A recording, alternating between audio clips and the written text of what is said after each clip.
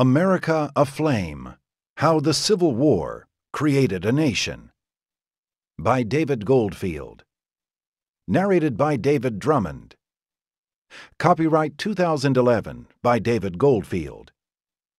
This unabridged audiobook is published by arrangement with David Goldfield, care of the Markson Thoma Literary Agency, and was produced in the year 2011 by Tantor Media Incorporated, which holds the copyright thereto.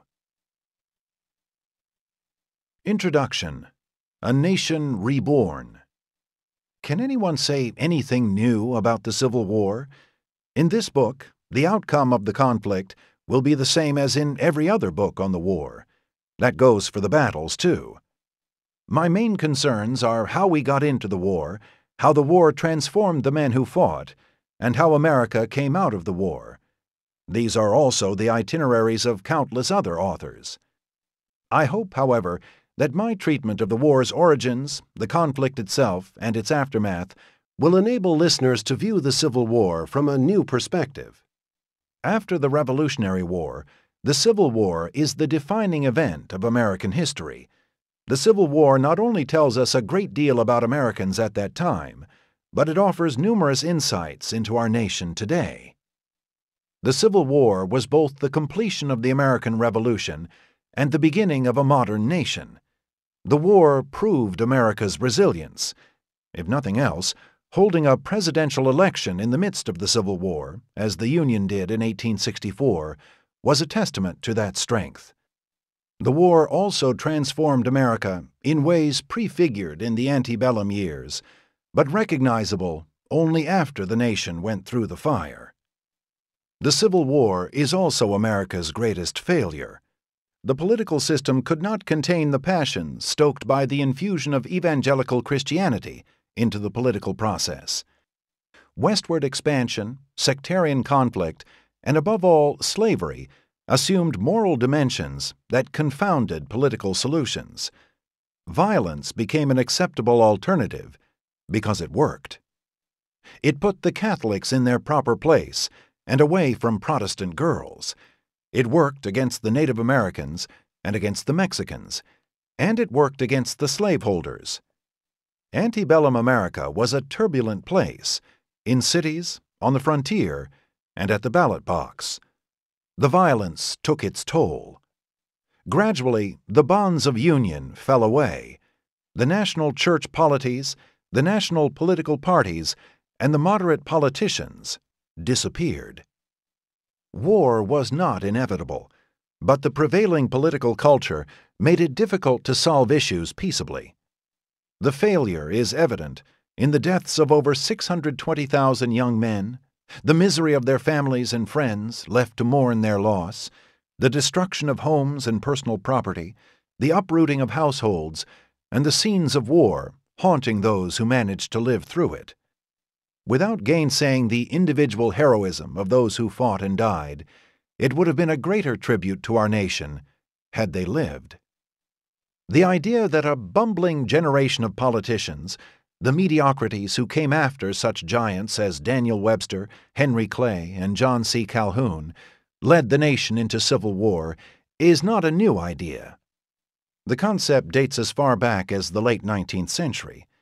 Avery Craven was perhaps its most gifted advocate.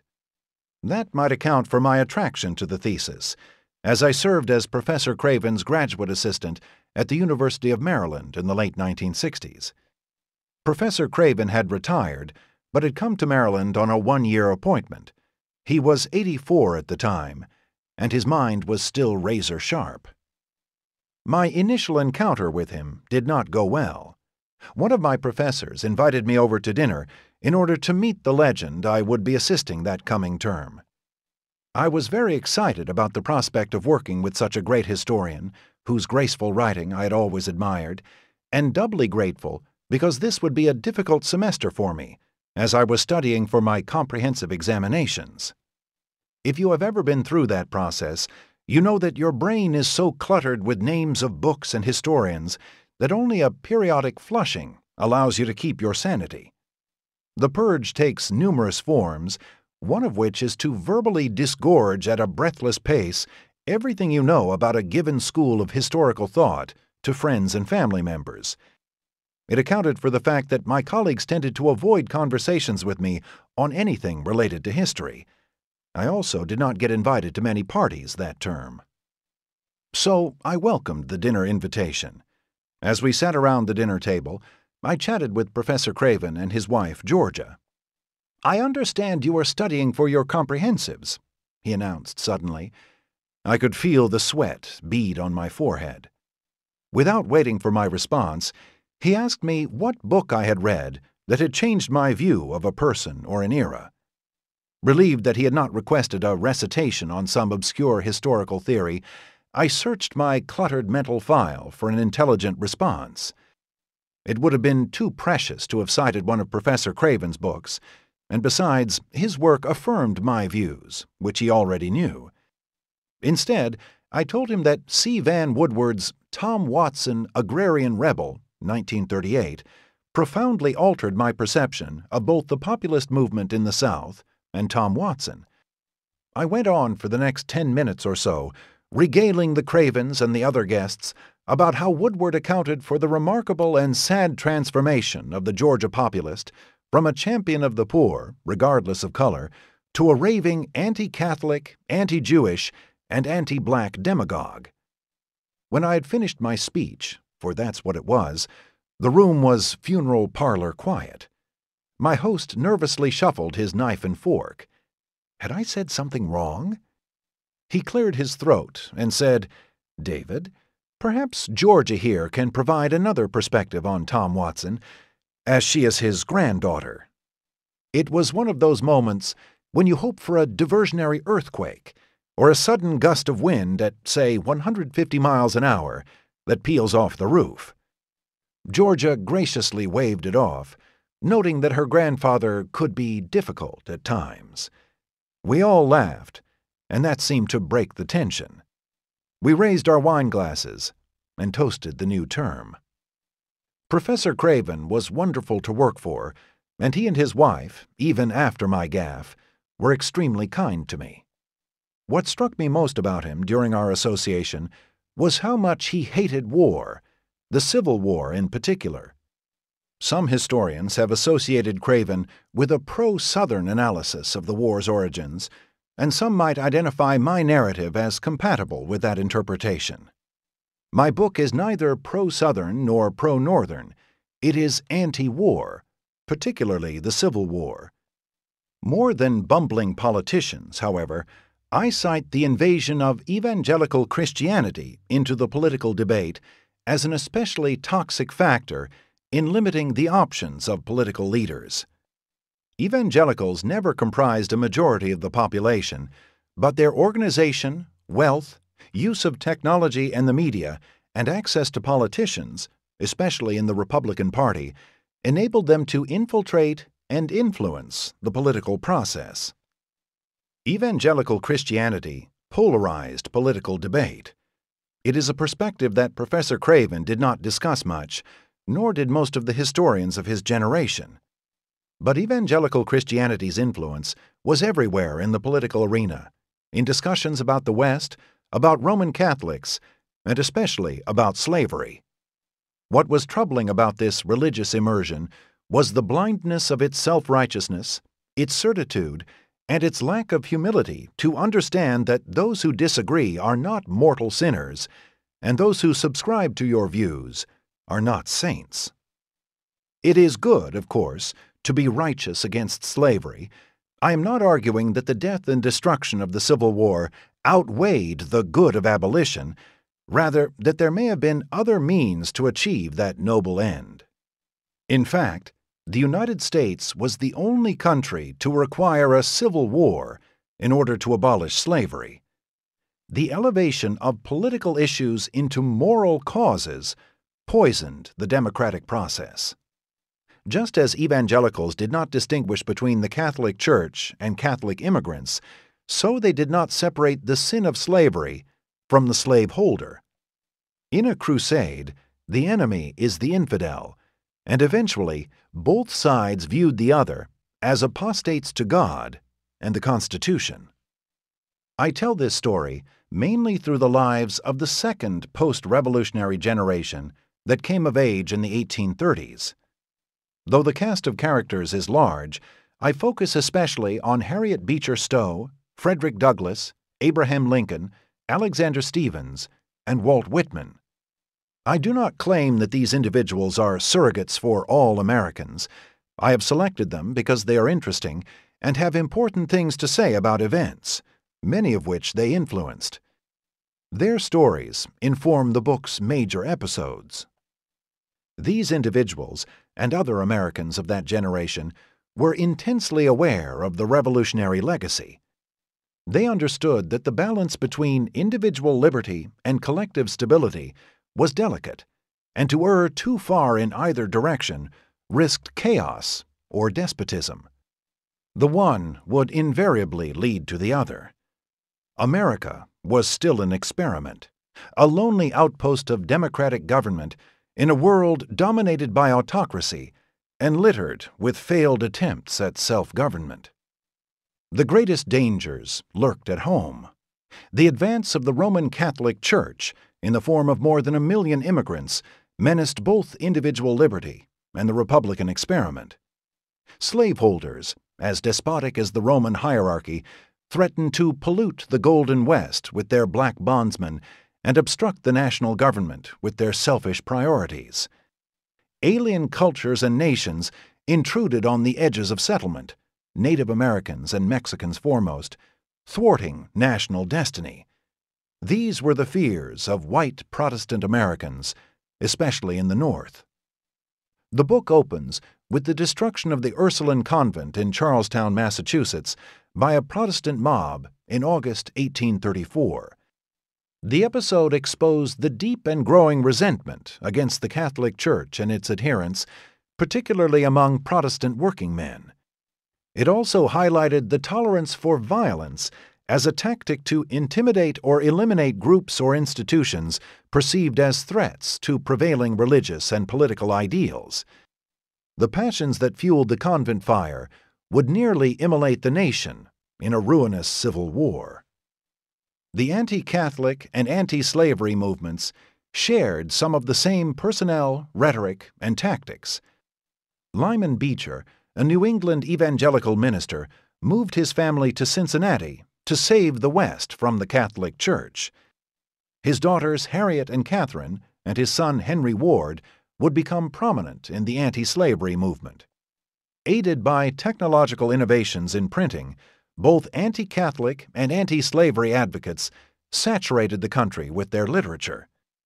They employed similar apocalyptic rhetoric to energize faithful followers to action against both of these threats to the nation and God. Both the anti Catholic and anti slavery movements flourished during a national religious revival known as the Second Great Awakening.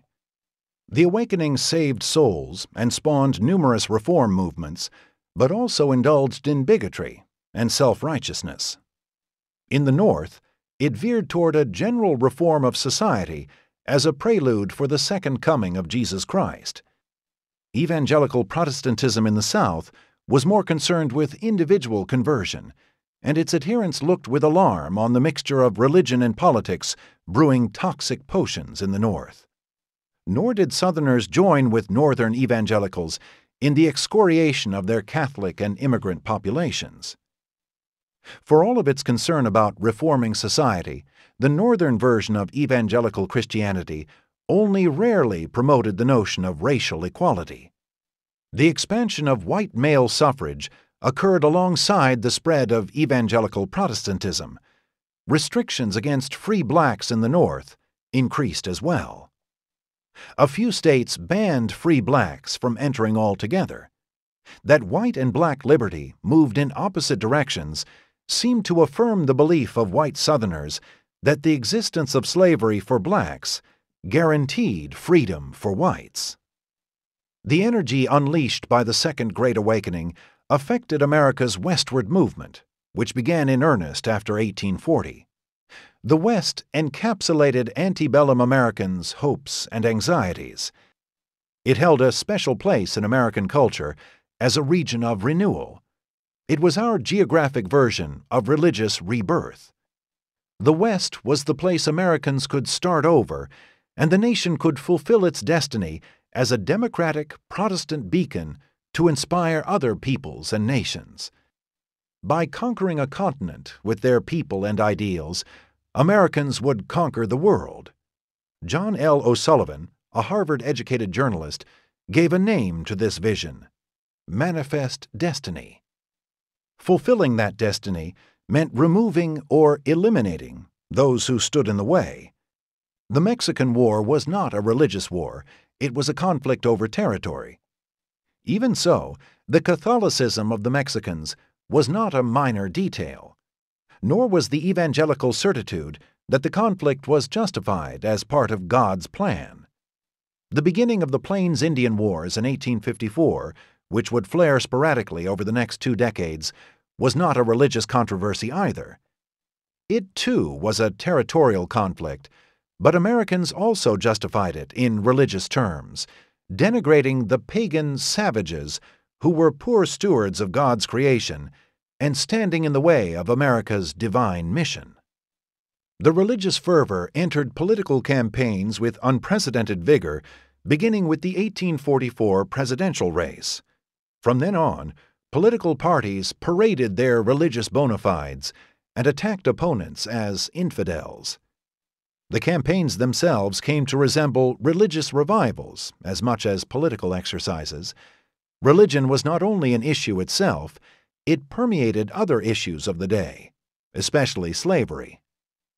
Given the importance of both evangelical religion and the West during the 1840s, the exclusion of slaveholders from that promised land, first broached by David Wilmot, a Democratic congressman from Pennsylvania in 1846, was guaranteed to raise howls in the South. And it did.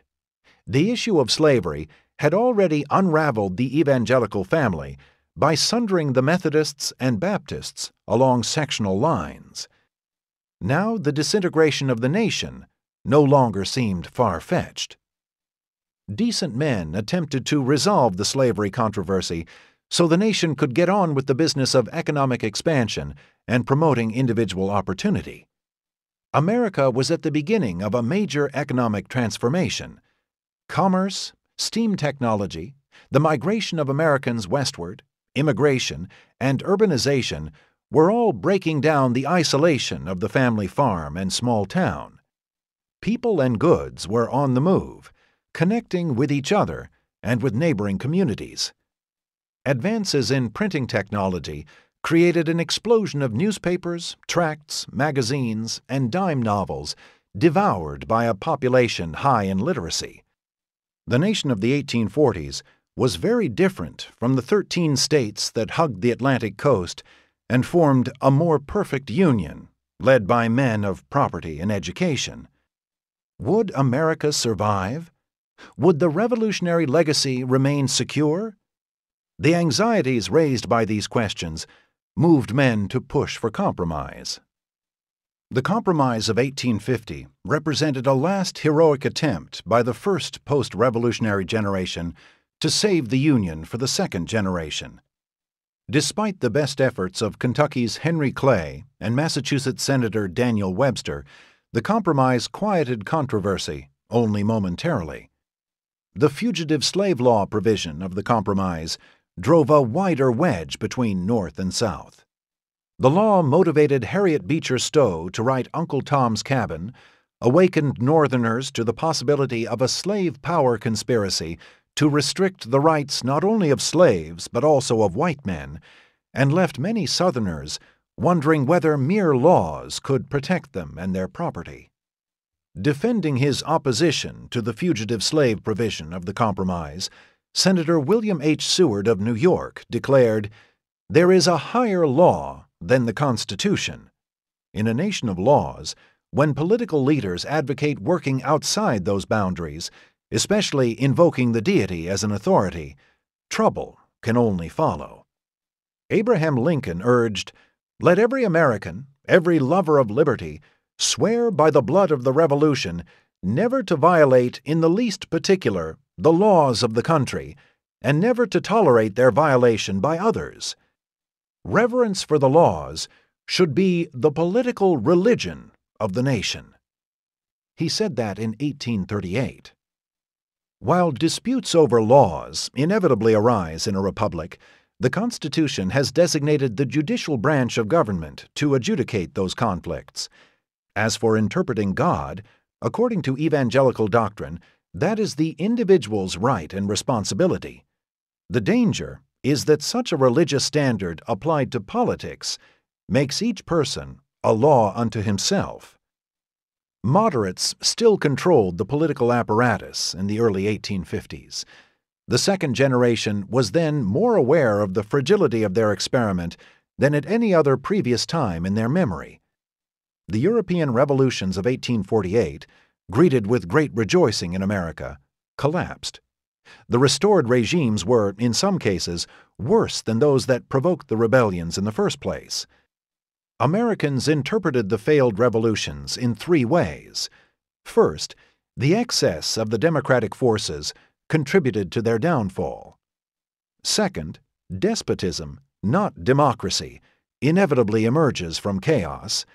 Finally, democratic institutions are fragile plants. They require constant nurturing, and even then their survival is not certain. America was a lonely outpost in an undemocratic world. The survival of that outpost became more tenuous by the mid 1850s a cascade of events increasingly polarized the nation.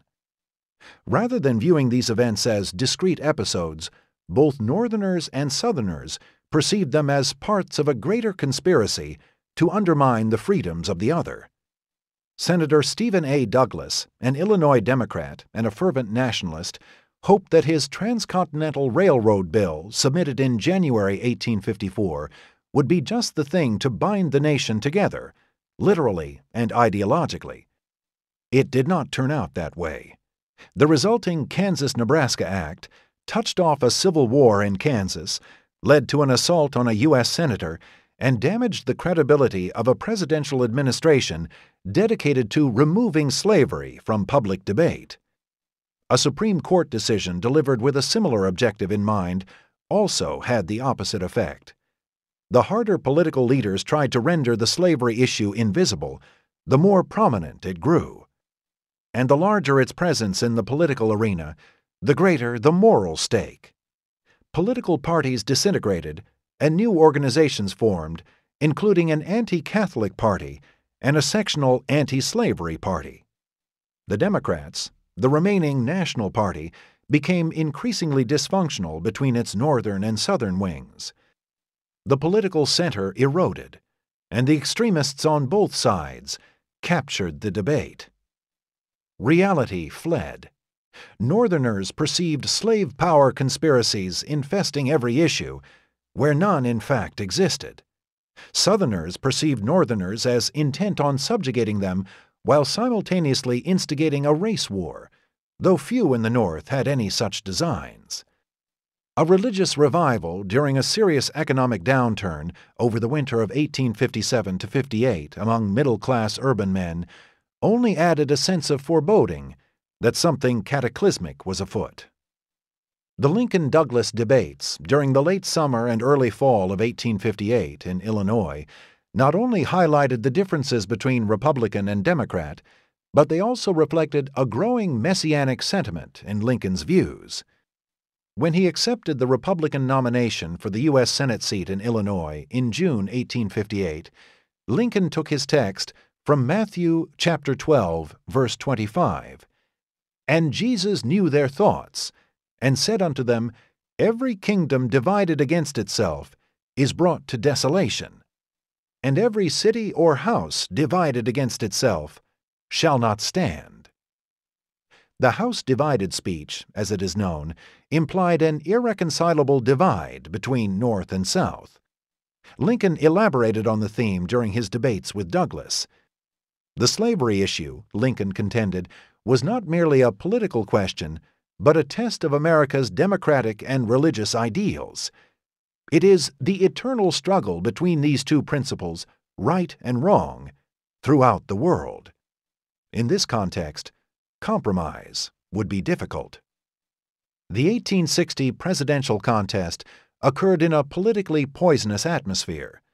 By this time, Southern evangelicals had assumed a millennial view similar to the North's. The shift had more to do with the anti slavery evangelical assault on the slaveholder and his society than on a heartfelt doctrinal transformation, but it further polarized North and South at a critical time. The Democrats broke apart, opening the way for Lincoln's victory in the fall. By the time he took office in March 1861, seven Southern states had left the Union to form the Confederate States of America.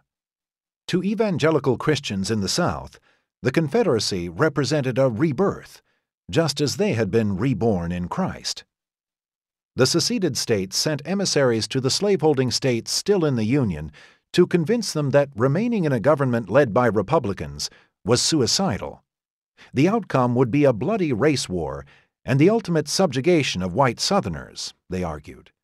There was no doubt in the minds of Southern contemporaries that the Confederacy rested on the cornerstone of slavery. Lincoln entered office assuring the South he meant no harm to slavery where it existed. He also vowed to uphold the Constitution and defend federal property. Secession, from Lincoln's perspective, presaged anarchy and therefore threatened democratic government and individual freedom. When he maneuvered Confederate President Jefferson Davis into foolishly firing the first shot at Fort Sumter, Lincoln noted, They attacked Sumter. It fell, and thus did more service than it otherwise would. The service was uniting a Northern population heretofore skeptical of Lincoln's ability to lead and divided over policies to deal with secession. When he called for Northern volunteers to put down the rebellion, four additional Southern states seceded, and the war began. The war lasted far longer and was far bloodier than almost anyone expected. Given the Union's significant advantages in men and materiel, it was not surprising that most predicted a short war. After the Battle of Shiloh in April 1862, a narrow Union victory along the Tennessee Mississippi border, the illusion of a quick, glorious end to the fighting fled. The carnage shocked even Union General William T. Sherman. Who but a living witness can adequately portray those scenes on Shiloh's field, when our wounded men, mingled with rebels, charred and blackened by the burning tents and underbrush, were crawling about, begging for someone to end their misery. The slaughter spurred Lincoln to emancipate the slaves. He had always harbored a deep animus against slavery for both moral and practical reasons. However, he loved the Union more than he hated slavery. As the war dragged on, and with the outcome uncertain, he deployed the proclamation, it was a calculated risk. While a majority of white Northerners supported banning slavery from the territories, abolishing the institution where it existed was another matter. Lincoln's concerns reflected the limited reservoir of goodwill in the North toward African Americans, even in the midst of a civil war. Lincoln also understood that he had raised the stakes of the war. The proclamation would only stiffen the Confederates' resolve to fight to the bitter end. When Lincoln dedicated the Union Cemetery at Gettysburg in November 1863, he made it clear, however, that the war was not only about freedom for the unfree. Saving the Union meant securing freedom for everyone. That this nation under God shall have a new birth of freedom, and that this government of the people, by the people, for the people, shall not perish from the earth. America would be born again but it would not be cleansed of sin. Victory in the Civil War did not make Northerners chaste, though it chastened them, as it did white Southerners, with the notable difference that the former rebels believed redemption, retaking control of their government and their former slaves, would deliver them to grace. Science and reason governed the North after the war, along with an insatiable desire for progress. Neither the press nor Horatio Alger fabricated a land of opportunity, it was real. The national rebirth would be measured in economic and political terms, not as a moral absolution. The South not only lost the war, but also forfeited its place as a participant in forging the nation's future. While the rest of the nation hurtled toward the future, Southerners created a past. For nearly a century after the war, and until the rest of the nation could no longer ignore the anomaly of poverty, ignorance, segregation, and disfranchisement on its border, the South remained a regional outlier to the story of national success. The new nation taking shape after the Civil War only included the South as a gauzy intermezzo to a dazzling show of economic development, ethnic diversity, alabaster cities, and technological innovation. As P.T. Barnum cranked up his Wild West shows to provide Easterners with a stylized version of the West, so minstrel shows and early film portrayed a magnolia scented South that sealed racial stereotypes and preserved the region as old in an America obsessed with the new, a feminized counterpoint to a masculine colossus. Some of these changes were already evident during the war. When Walt Whitman took leave of his grueling hospital work in Washington, D.C., in November 1863, to recuperate in his Brooklyn home, the train trip northward was a revelation. It was scarcely possible to see that a war was going on. Passing through Baltimore, then Philadelphia, and alighting in Manhattan, he marveled, It looks anything else but war. Everybody well dressed, plenty of money, markets boundless and the best, factories all busy. The North was a hive of activity and innovation, as the South was collapsing under spiraling inflation, severe manpower shortages, and the scarcity of basic necessities. Whitman was witnessing the birth of the modern state and of modern America. The Republican Congress, free of the Southern Democratic albatross, passed an array of economic and educational legislation that helped to establish the federal government as an important catalyst in creating a national economy. The small town and family farm still characterized the nation, but northern cities absorbed thousands of newcomers and large orders for war materiel. A transformation was also occurring among the soldiers in the field. Although periodic religious revivals visited both camps, especially the Confederates during the last year of the war, the messianic tenor of correspondence from both sides subsided. The randomness of death, regardless of piety, and the general horror of the war transformed the soldiers' faith. They still believed, of course, but often without the certitude and self righteousness that marked evangelical Christian perceptions on the eve of the war. The advancing perception was that rather than the personal interventionist God of evangelical Christianity, the war confirmed a supreme being who was more detached and more inscrutable.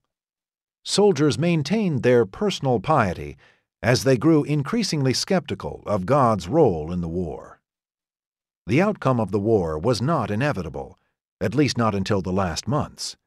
Regardless of the Union's advantages in men, materiel, and organization, the war would be won or lost on the battlefields. Many of the key battles that preceded Sherman's decisive march through Georgia, Sheridan's depredations in the Valley of Virginia, and Grant's relentless siege of Petersburg were narrow victories for Union troops. As late as the summer of 1864, Northern public opinion was tilted decidedly toward a truce and peace with the Confederacy. By the time of Lincoln's second inaugural in March 1865, the result of the war was not in doubt. His brief inaugural speech was a remarkable effort, a combination sermon and introspective rumination, not the triumphal declaration the assembled expected.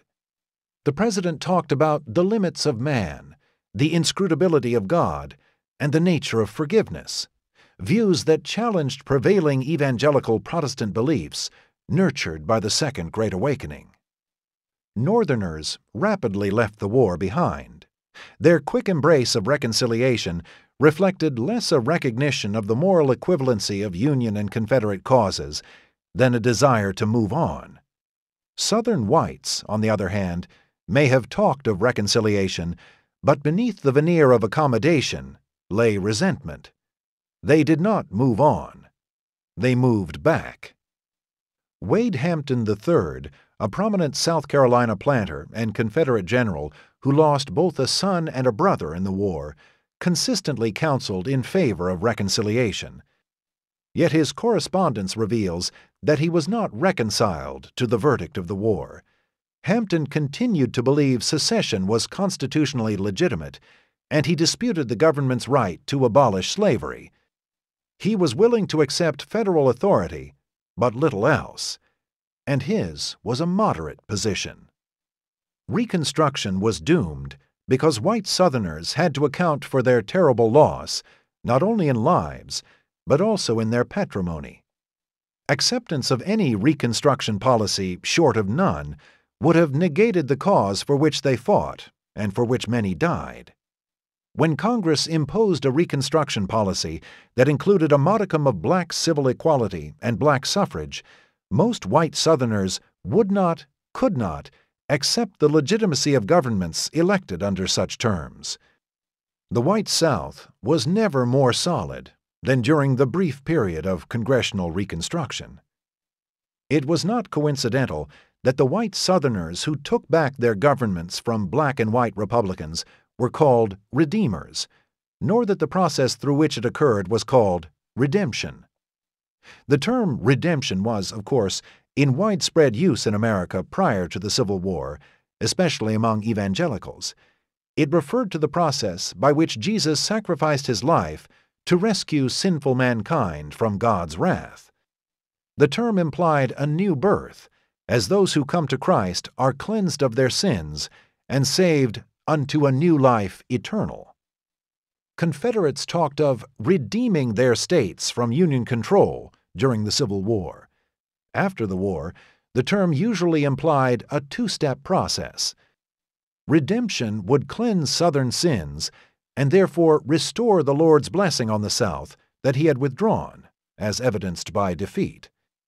It would also remove the yoke of Yankee and Negro rule.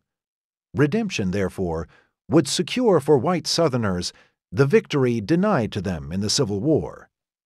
The process toward redemption was clear.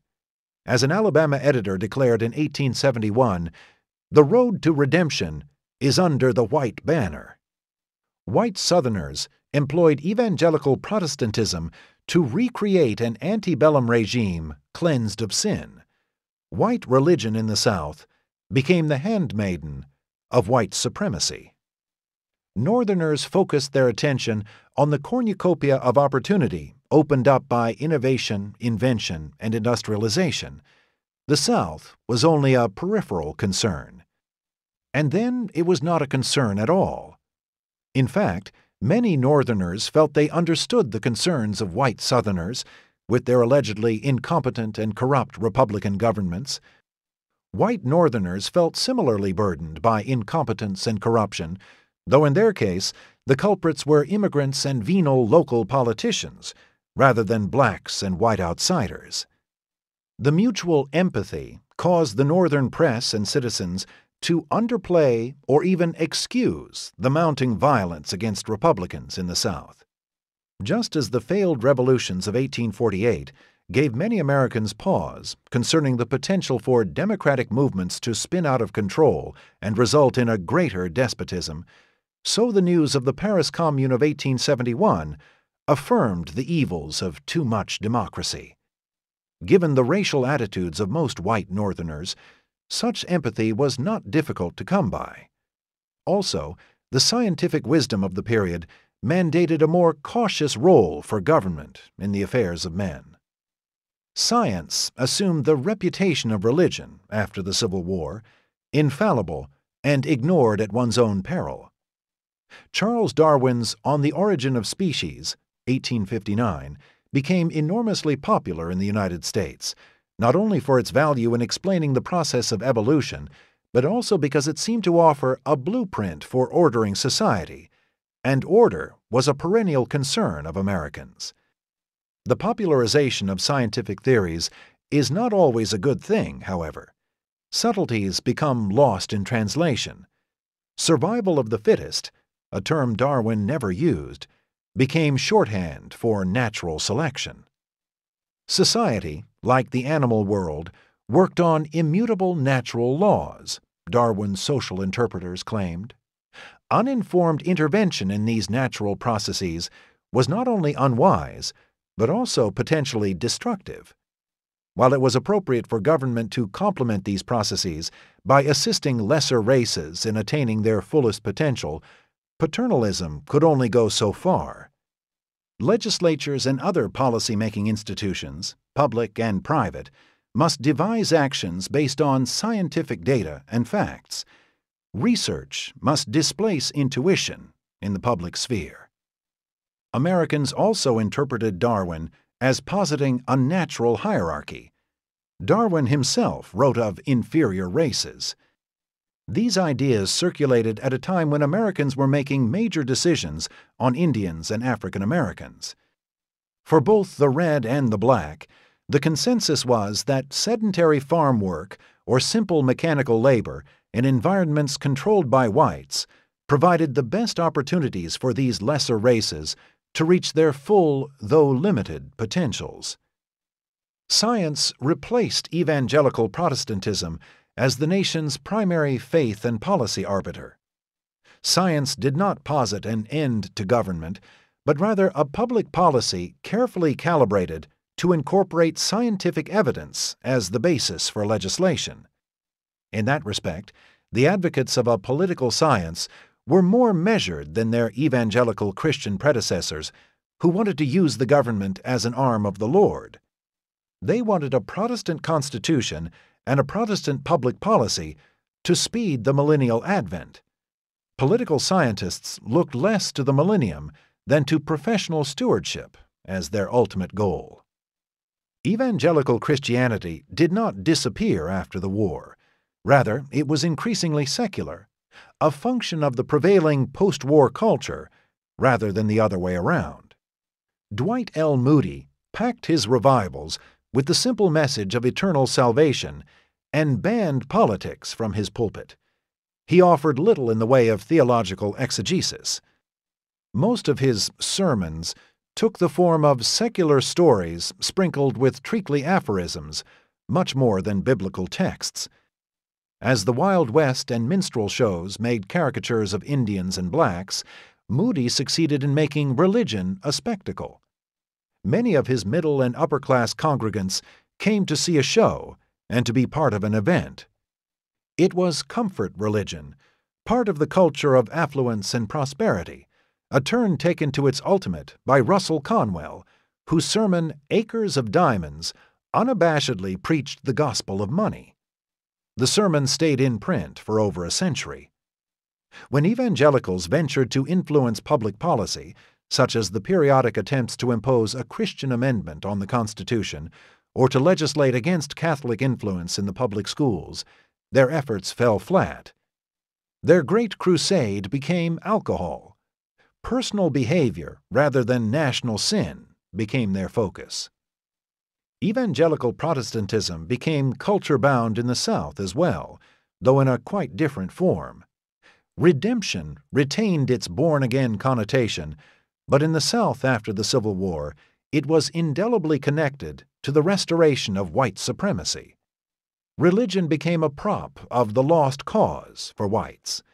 For blacks, evangelical Christianity became their community. The focus was less on the hereafter than on the here and now.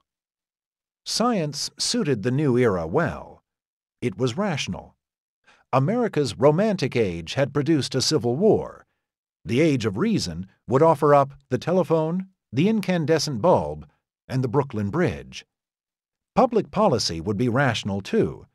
Cities were inefficient because experts and professionals were not in charge. States in the South were ill governed because unqualified electorates ruled. Just as the second generation of Americans thought they could discern the will of God, so their postbellum offspring believed they could divine the secrets of science and apply them to their society. Both were wrong. The North settled into prosperity.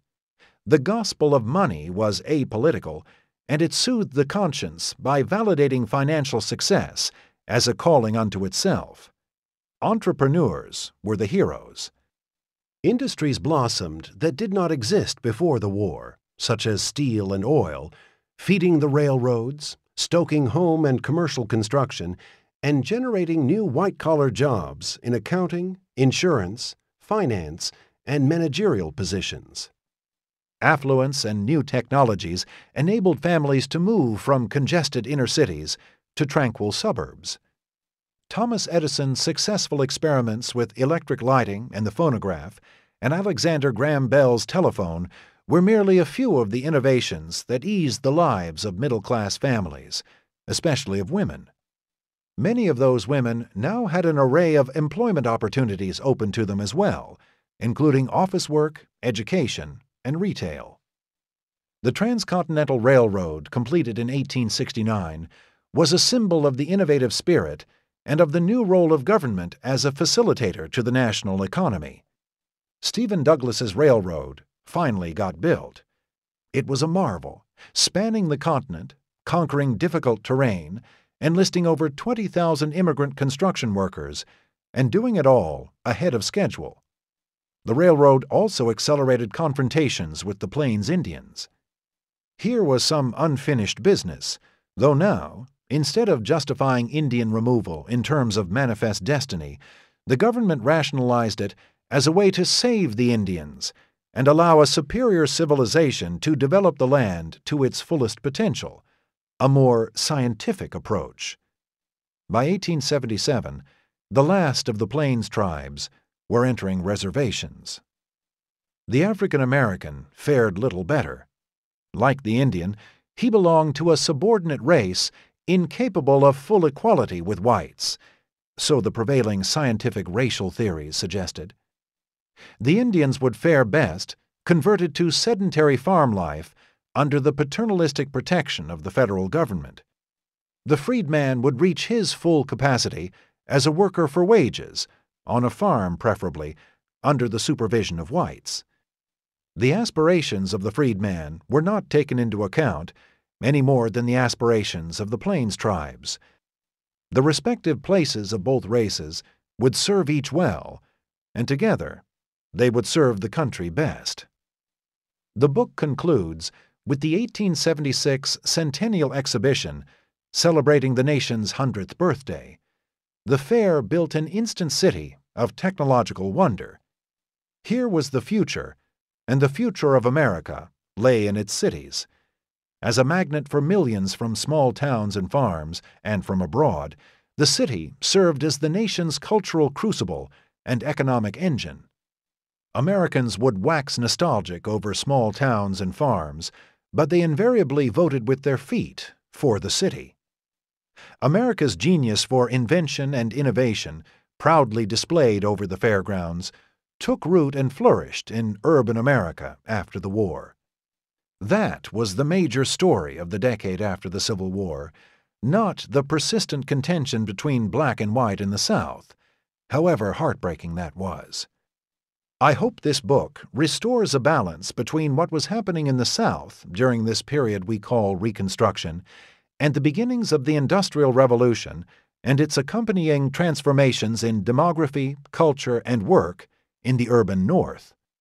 The future of the country rested with the latter. As in any economic transition, there were winners and losers. The fiction of an identity of interest between capital and labor crumbled under the weight of strikes and the reality of genuine suffering. Northerners recoiled against the deployment of troops to protect Southern Republican regimes as a usurpation of federal power. They applauded, however, when President Rutherford B. Hayes rushed soldiers to put down the great railroad strike of 1877. White Southerners were merely ending the unnatural occupation of their government by mountebanks and incompetents. Workers, however, like the Paris Communards, were sowing disorder that threatened the Republic. The second generation of Americans had succeeded in eliminating or neutralizing the threats the nation confronted beginning in the 1830s Catholics, slaveholders, Mexicans, and Native Americans. Republicans still worried about the Catholics, but they would not think of burning convents to get their points across. They resurrected the slaveholder every four years as a reminder of the treason, though he was more a mascot than an imminent threat. And they tacked on a crusade against alcohol, as it reinforced their anti immigrant base and added a nice alliterative quality to their campaigns against rum, Romanism, and rebellion. African Americans and Native Americans were in their science ordained places. The nation was now secure and indivisible. The new birth of freedom Lincoln promised as the reward for so much sacrifice proved more elusive. The carnage did not translate into a universal application of the Declaration of Independence. The fates of the Indians, the African Americans, and the Chinese during and after the Reconstruction era testify to that serious shortcoming. Yet the folly of the second generation in exposing the great experiment of self government to a bloody civil war had the redeeming feature of preserving the founding ideals for another day. Gradually, the excluded gender, races, and religions would find inclusion, even if incompletely.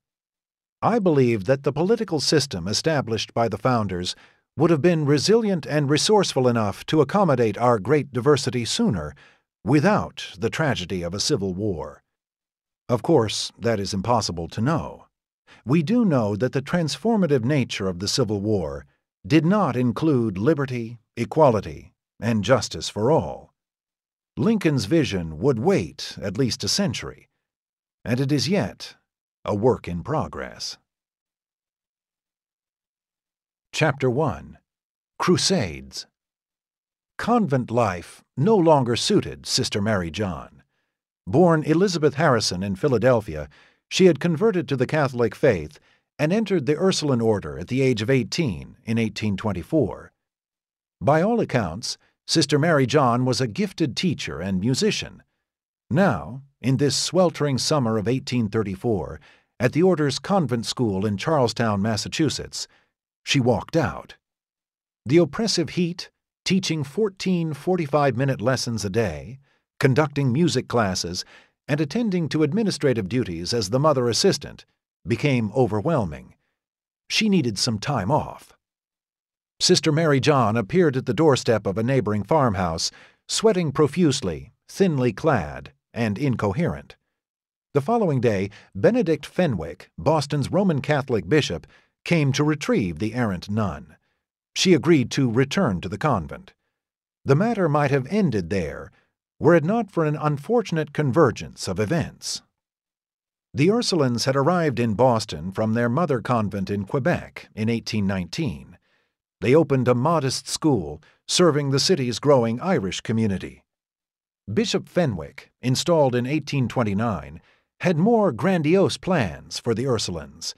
The church purchased land in nearby Charlestown to erect a convent.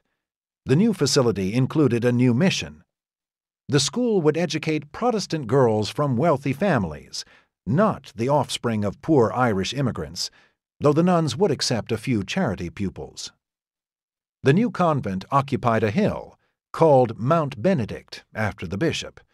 The main building, a barn, stables, an ice house, a restored farmhouse, and gardens sprawled across 24 acres, offering commanding views of the spires of nearby Boston and its harbor. The complex rose next to another Charlestown promontory, Bunker Hill, a sacred revolutionary site to area residents. Bishop Fenwick viewed his project as a fundraising enterprise. He also hoped to ingratiate himself and his religion with prominent Protestant families at a time of increasing hostility to Romanism. Perhaps that influence might leave a deeper impression.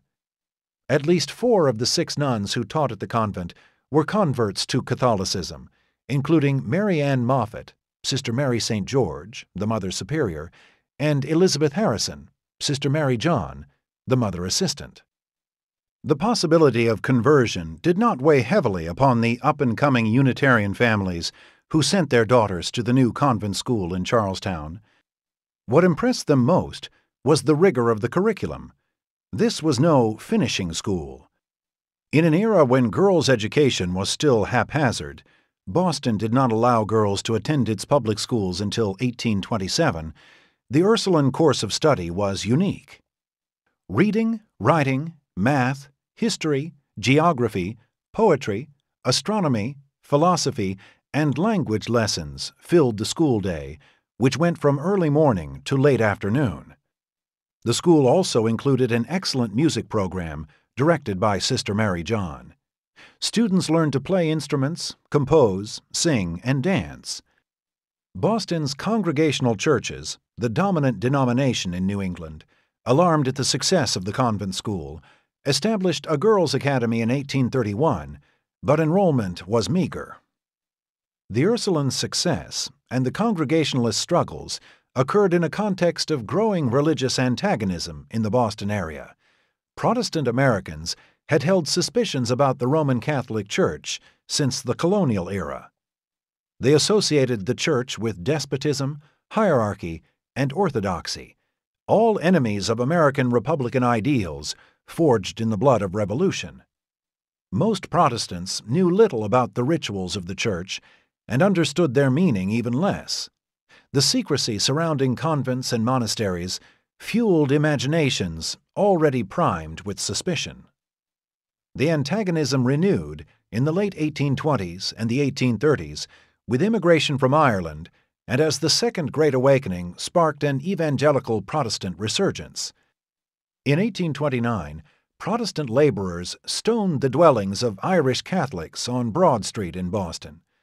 Protestants and Catholics clashed violently in Lowell, just north of Boston, in 1833. That same year, a sectarian brawl resulted in the death of an Irish worker in Charlestown.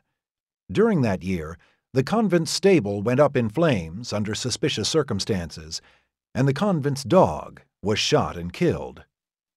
Charlestown's working class Protestant population was especially prone to anti Roman hysteria competition from Irish Catholic workers, and the use of Irishmen to break strikes among Protestant brickmakers contributed to the animosity.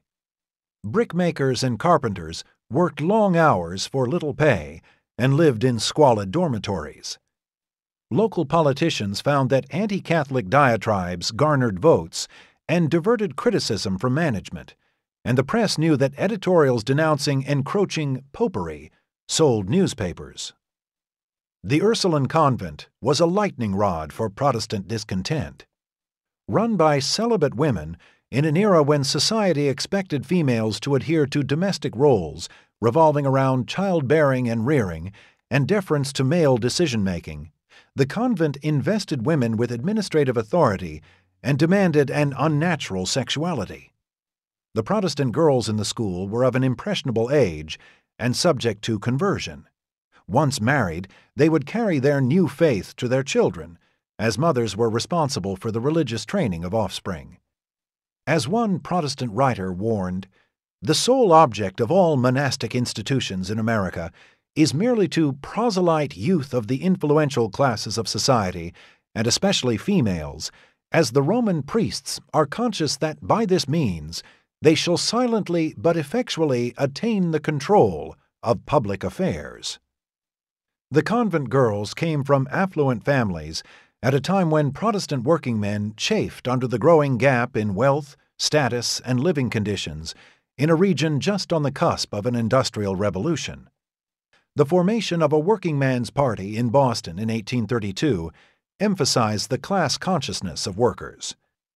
The Boston Recorder, a prominent local newspaper, summarized Protestant fears of the convent in an 1830 editorial that its students may yet go forth with their minds imbued with such principles which, if embraced by our descendants, will counteract every good for which our fathers fought. The editor hoped for the day when all false religion shall be overthrown, and the true religion of Christ pervades the whole world. Few congregational ministers feared the Catholic menace more than Lyman Beecher, pastor of the Park Street Church in Boston, whose fiery sermons had earned the church the reputation as the city's brimstone corner. He attracted national attention with a series of sermons in 1830 denouncing the Catholic Church as a sworn enemy of the nation's Republican ideals. Beecher practiced what he preached. He uprooted his large family from their comfortable New England home and moved to Cincinnati, then a raw frontier town, to establish a theological seminary. The purpose of this institution was to save the West, and especially its children, from the Catholic Church. To that end, he also encouraged his eldest daughter, Catherine, to open a school and dedicate her life to female children of the rising generation in which Catholics and infidels have got the start of us. Resentment against Catholics, and specifically the Mount Benedict convent, grew through the early 1830s. The impressive school, perched high above Charlestown, was not the city on the hill the Protestant burghers contemplated as the fulfillment of the Pilgrim's Progress. A commemorative monument rising on adjacent Bunker Hill illuminated the perceived threat of the sprawling convent even more. In the weeks before and after Sister Mary John's peregrination, an uncannily similar story circulated in the Boston area. Rebecca Reed, a Protestant girl, was the protagonist in this tale. She had allegedly fled the Mount Benedict convent to escape from a satanic environment. To silence her, Reed charged, the nuns plotted to carry her off to Canada. Mother Superior admitted that Reed had entered the convent in 1831 as a charity student, but was dismissed after six months when she balked at the rigor of the curriculum. Sister Mary John's escape, however, lent credence to Reed's story, conflating the two episodes in the primed minds of Yankee residents. On August 8th, a story appeared in a Boston newspaper headlined Mysterious. It read, we understand that a great excitement at present exists in Charlestown in consequence of the mysterious disappearance of a young lady at the nunnery in that place. A few days since, her friends called for her, but she was not to be found, and much alarm is excited in consequence. The Charlestown selectmen who governed the community now rose to action. They marched over to the convent on Monday, August 11th, and demanded to search the facility for the missing nun. Mother Superior obliged and presented Sister Mary John as their tour guide. The selectmen reported to the press that Miss Harrison was entirely satisfied with her present situation, it being that of her own choice, and that she has no desire or wish to alter it.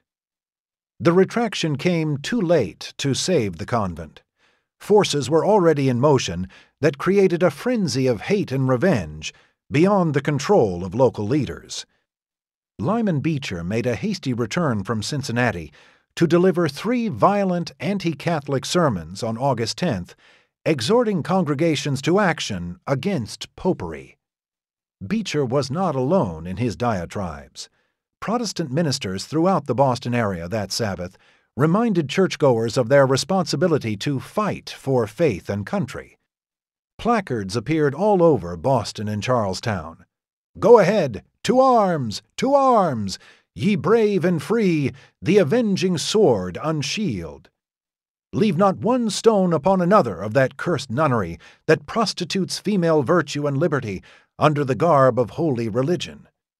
When Bonaparte opened the nunneries in Europe, he found cords of infant skulls. John R. Buzzell, a brawny six foot six brickmaker, required no such encouragement. A year earlier, he had severely beaten the convent's Irish caretaker. He still harbored resentment over the use of Irish strikebreakers. The selectmen had scarcely departed Mount Benedict when Buzzell and a mob of sixty Protestant men marched toward the front gate, shouting, No Popery! and Down with the Cross! Charlestown's lone police officer stood off at a discreet distance. Mother Superior came out to meet the mob. Seeing that her pleadings did not diminish the crowd's determination, she warned that the bishop has 20,000 Irishmen at his command in Boston. That threat only stoked the mob's fury. The men battered in the front door and ransacked the main convent building, finding to their dismay nothing more incriminating than the books and clothing of the students and nuns, who had already fled the premises. Within the hour, flames consumed the convent and its contents. Certain that dark secrets lay somewhere on the grounds, the mob turned to the small chapel behind the convent. A dozen men armed with clubs and pickaxes burst through the portal. They found a trap door, smashed it, and rushed down the stone steps to the crypt. Seven coffins lay in front of them. Here, they believed, were the remains of murdered Protestant girls. They pried open the coffin lids and pulled out the bodies. Arrayed before them were no defiled Protestant damsels, but the corpses of seven nuns. One of the men clubbed a skull in frustration, sending its teeth skittering across the stone floor. The men picked up the teeth for souvenirs and moved on to other targets. By dawn, the school and all of the outbuildings lay in smoldering ruins. The episode appalled some of Boston's leading citizens, including Harrison Gray Otis, a future U.S. Senator who told an audience in Faneuil Hall, The destruction of property and danger of life caused thereby calls loudly on all good citizens to express individually and collectively the abhorrence they feel of this high handed violation of the laws.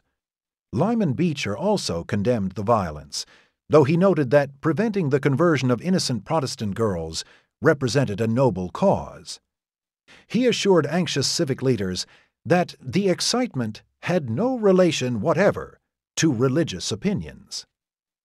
The authorities rounded up 13 rioters and tried them individually in December 1834, beginning with John R. Buzzell. It soon became clear, however, that the Catholic Church and not Buzzell was on trial. Witnesses for the prosecution were difficult to find, particularly after the posting of a warning on Charlestown Bridge all persons giving information in any shape or testifying in court against anyone concerned in the late affair at Charlestown may expect assassination. Rebecca Reed was a star witness for the defense, spinning her fantasies to the delight of the packed galleries. After 20 hours of deliberation, the jury returned a verdict of not guilty. All of the subsequent trials found each of the defendants innocent of the charges, except for a 16 year old boy who led a book burning spree on the property. He received a life sentence. At the behest of Bishop Fenwick, the governor commuted the sentence and released the prisoner. Buzzell emerged from the trial a local hero. The citizens of Boston and Charlestown showered him with so many gifts he found it necessary to place a card of thanks in the Boston newspapers. Buzzell eventually moved to New Hampshire, where he entered politics. Mother Superior and Sister Mary John returned to the Ursuline convent in Quebec. Despite numerous lawsuits, the order never received any compensation for the loss of its property. The convent stood a charred ruin for nearly half a century before the town leveled the hill and used the soil as a landfill. Some bricks from the convent were spared in the final demolition, and today form the arch in the front vestibule of the Cathedral of the Holy Cross in Boston. Only Bunker Hill rises above Charlestown now, along with its monument commemorating a nation's heroic stand against British oppression. Rebecca Reed had a more colorful, if brief, career after the fire. Her spiritual autobiography, Six Months in a Convent, 1835, appeared several months after the trial and sold 10,000 copies in the Boston area alone during its first week in print. Reed recounted her imprisonment and how the nuns forced her to renounce the Protestant faith.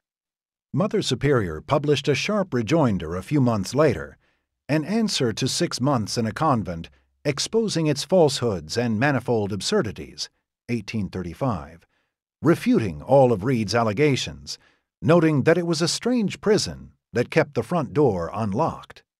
That book sold well, too.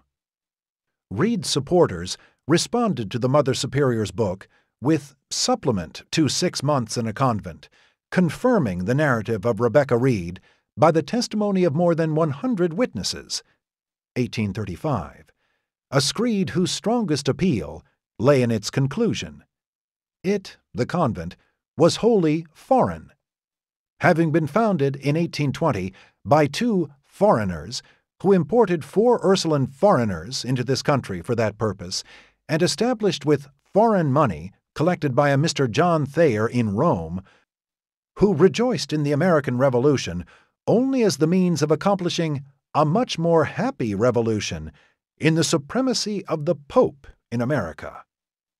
The vast evangelical network created by the Second Great Awakening and the steam printing press advertised Reed's books to a broad audience.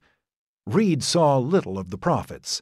She died of tuberculosis, allegedly brought on by the rigors of convent life, shortly after the publication of the supplement. The popularity of Reed's books and the credulity of a public receptive to almost anything sensational about the Catholic Church inspired a more extraordinary tale. Maria Monk's problem was more immediate than Rebecca Reed's. She was pregnant, in an era when unwed motherhood was decidedly unfashionable. The solution? Write a book. A strategy concocted by a team of prominent evangelists and abolitionists, including Theodore Dwight, great grandson of Jonathan Edwards, the leading light of the First Great Awakening. The result eclipsed the mild perturbations of Rebecca Reed. The book, Awful Disclosures of the Hotel Dieu Nunnery, 1836, sold more copies than any other book in America before the Civil War, with the exception of Harriet Beecher Stowe's Uncle Tom's Cabin. Awful Disclosures, true to its title, chronicled the debauched life of nuns and priests in a Montreal convent.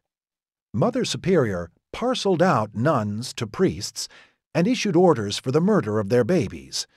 Licentious priests roamed the halls, feasting on young virgins at will. Often they were in our beds before us, Maria wrote. Especially fascinating for readers were the detailed descriptions of the convent's Gothic rituals. The ceremony marking Maria's entrance into the novitiate required her to lie down in a coffin after which three priests ravished her, accounting for her pregnancy. Mother Superior forced her to reveal her most secret thoughts and desires to priests in the confessional. Maria concludes her story with a tour of the convent for the reader, probing the secret recesses and passageways down into a sub-basement where she discovers an enormous lime pit employed to devour the bodies of the murdered infants. All was fantasy. Contrary evidence poured in almost immediately. Maria's mother told a reporter that a Protestant minister had impregnated her daughter and had spun the tale to cover up the deed. A New York lawyer, William Stone, sympathetic to Maria, traveled to Montreal to inspect the ribald, murderous Hotel Dieu nunnery. Stone discovered only a placid religious community whose residents lived with confidence, esteem, and harmony among each other. But these contradictions only confirmed the perfidy of the Catholic Church for convinced Protestants. The conspiracy of silence and secrecy confounded investigators. Further revelations that Maria was actually a prostitute did not erode the book's popularity or that of a sequel. Like Rebecca, Maria gained little from her book's success. She died penniless on Welfare Island in New York in 1849. The destruction of the Ursuline convent underscored the challenges facing the still new nation. Despite Lyman Beecher's disingenuous denial, religious discord played a major role in the conflagration. Irish Catholics were unwelcome in New England, especially in the Puritan Protestant strongholds in and around Boston. In the volatile religious marketplace of the era, Catholicism more than held its own. By the time Bishop Fenwick arrived in Boston, more than 2,000 Protestants had converted to the Catholic faith. The convent represented more than religious rivalry. It was an outpost for a religion deemed incompatible with revolutionary ideals. The convent also subverted ideals of the family and gender. Celibate women were training young Protestant girls into womanhood with an ambitious curriculum the equal or better of comparable boys' schools. Mount Benedict and Bunker Hill were more than two elevations in a Boston suburb. The elegant convent, rising alongside the sacred hill, provided a bricks and mortar threat to the revolutionary legacy, a reminder that, perhaps, the future lay with Rome. The Protestant brickmakers, truckmen, and carpenters also worried about the future. Artisanal labor was beginning its long and precipitous decline from a worthy craft with the potential of entrepreneurial status to one of semi skilled drudgery with little prospect of advance. If the economy offered diminishing prospects for the Charlestown artisans, the convent and the Irish Catholic hierarchy that sponsored it represented a source of that declension. This religious discord occurred as the second generation of Americans came of age. The passing of the founders left the new generation with the responsibility of preserving and advancing the revolutionary legacy, a difficulty compounded by the absence of a consensus on the specifics of that legacy. The second generation would both conserve and redefine the founding principles. America was still very much an experiment, and pundits, both abroad and at home, predicted its imminent demise from too much democracy, too much territory, or too much diversity. Threats abounded, as did severe solutions. If Indians stood in the way of fulfilling the revolutionary heritage of a free, democratic, and prosperous nation, remove them. If slaveholders mocked the founding principles of American government, restrict their movement, and ultimately their livelihood. If foreign nations encroached on soil rightfully American, negotiate if possible, make war if necessary. If Roman Catholics flooded American cities with their foreign allegiances, secretive ways, and despotic hierarchy, then convert them or limit their rights. Catholics menaced not only the revolutionary legacy, but also God's plan for the New World. One way of securing the national experiment was to link its cause with God. Evangelical Protestants believed that it was more than coincidence that the Reformation had followed closely upon the European discovery of America, more than coincidence that the world's first truly republican government based on the dignity and equality of men appeared on this soil. American Protestantism reinforced and complemented American Republican government. The awakened cherished individuality, their personal decision to come to Jesus, their use of intuition and reason to determine the will of God, and the willingness to break with traditions and with the people and institutions that upheld those traditions. They cherished also their system of government, unique in the world, forged in blood, and dedicated to the self evident truths of equality and government by consent of the governed. Catholics stood as the great historic threat to both the Protestant God and the American nation. The rigid hierarchy of the Church denigrated individual reason, stifled dissent, and disdained democratic discourse. It was a despotic institution accustomed to supporting like regimes in Europe. The Catholic threat seemed real and imminent to American Protestants in the midst of a religious revival. The Holy See, under Pope Gregory XVI, 1831 46, was an expansionist institution, allied with conservative regimes and deeply suspicious of Republican influences. Catholic leaders in the United States often favored confrontation over conciliation. New York's Archbishop John Hughes boasted to Protestants Everyone should know that we have for our mission to convert the world including the inhabitants of the United States. The Catholic Church clearly threatened America's destiny as God's chosen nation. So did slavery, at least according to abolitionists. The anti slavery and anti Catholic movements shared a number of common characteristics and some of the same personnel. Maria Monk's awful disclosures was frankly pornographic by the conventions of the era though its authors always took care to frame lurid passages within the context of victimhood, demurely apologizing to the genteel reader, while at the same time whetting his appetite. This was a technique that abolitionists would put to good use in promoting slave narratives, providing details of life in bondage guaranteed to shock the reader, while making the larger point that slavery itself was a violent and pornographic institution destructive of normal family life, faith, and Republican sensibilities, just like the Roman Catholic Church. It was hardly surprising that the Beecher family stood in the forefront of both the crusade against Catholics and the crusade against slavery. Both institutions, in their view, condoned slavish adherence to false doctrines, imprisoned their victims and stripped them of their humanity, and conspired to subvert American ideals of self government and free thought. They were old, outmoded traditions and now deserve to be vanquished by the righteous. The anti slavery and anti Catholic movements both attained greater prominence during the 1830s as the Second Great Awakening peaked. The movements benefited from the print revolution and the persistent concerns about individual freedom as a threatened legacy from the Revolutionary era. Charles Grandison Finney, a New York lawyer who had heard the voice of God while researching a case and promptly dropped his law books for the Bible, reasoned that as long as evangelicals mailed Christian newspapers, sermons, and Bibles across the land, why not add anti slavery tracts to the mailbag?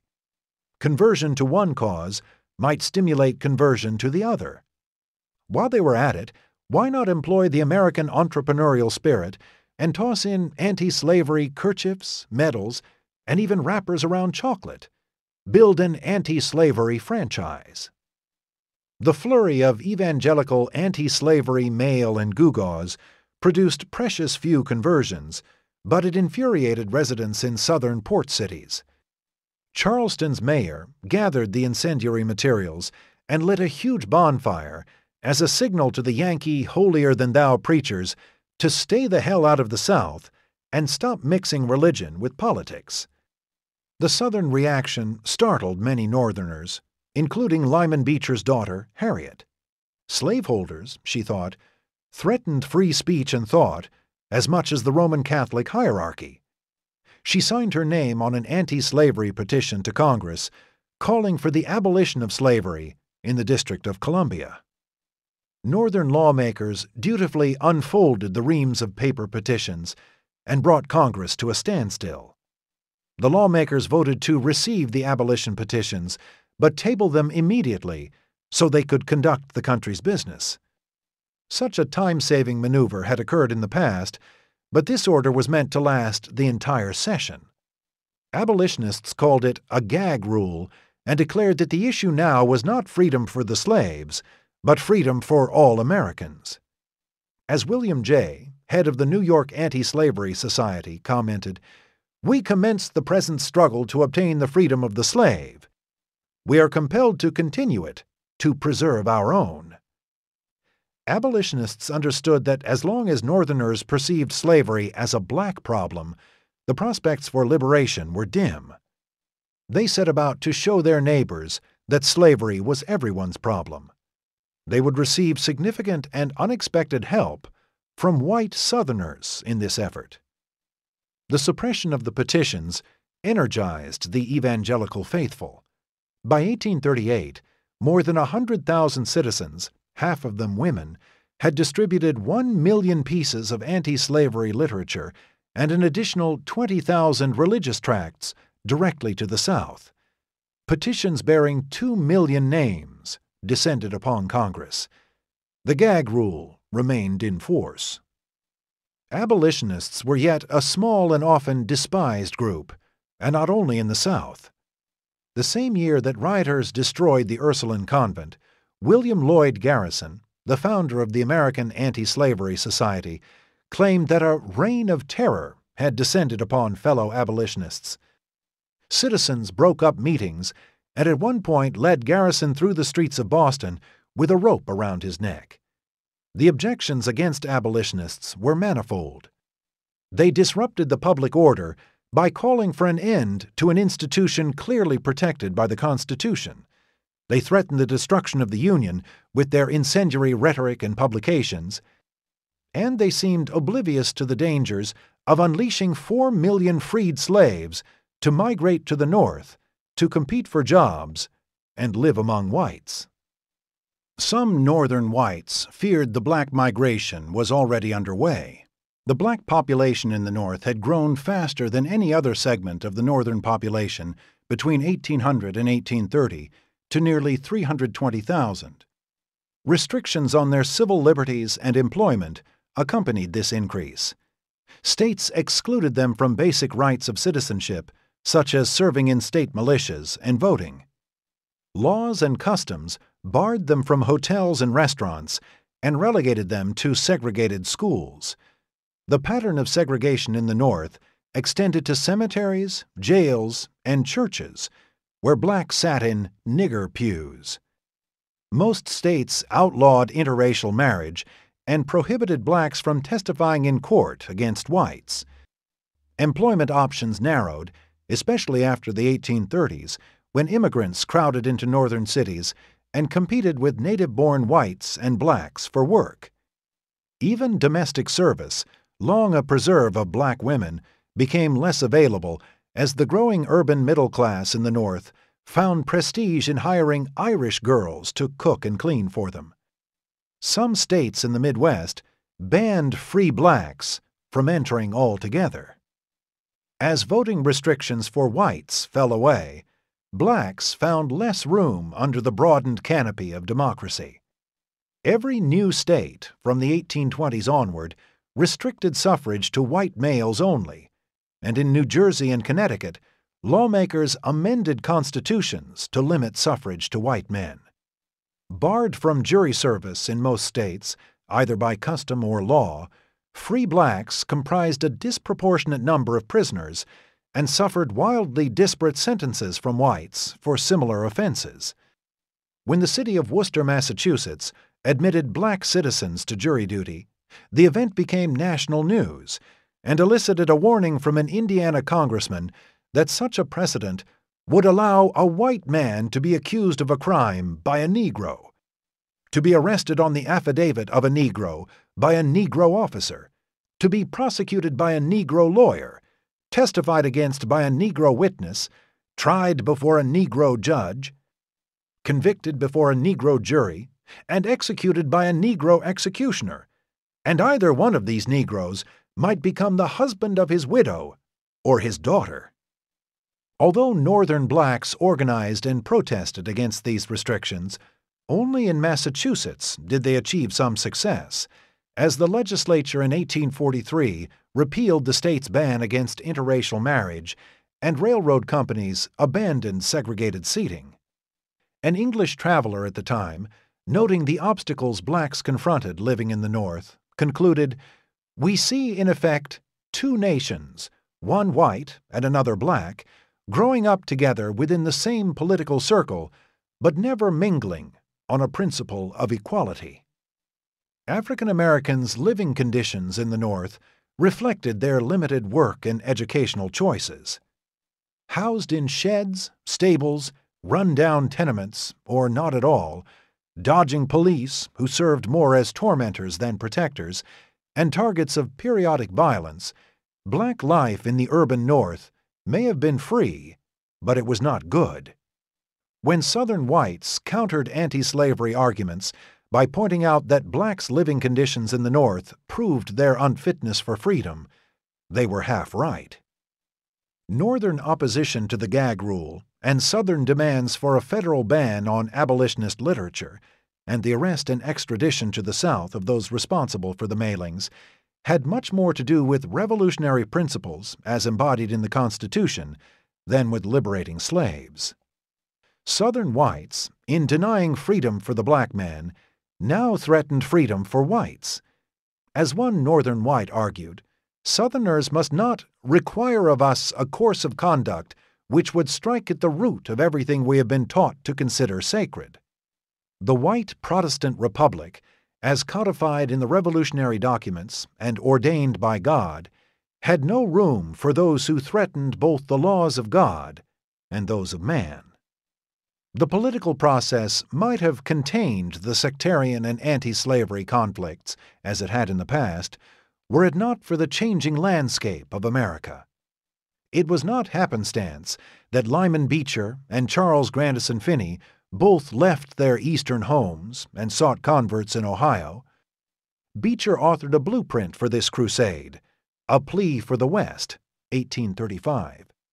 The book exposed the alleged Catholic conspiracy in the West to defile the virgin land, working through the dread confessional to manipulate elections and inflame and divide the nation, break the bond of our union, and throw down our free institutions. The mission of America to guide the world to grace depended on the religious and political destiny of the West. And this destiny depended on capturing the West for Protestants and whites.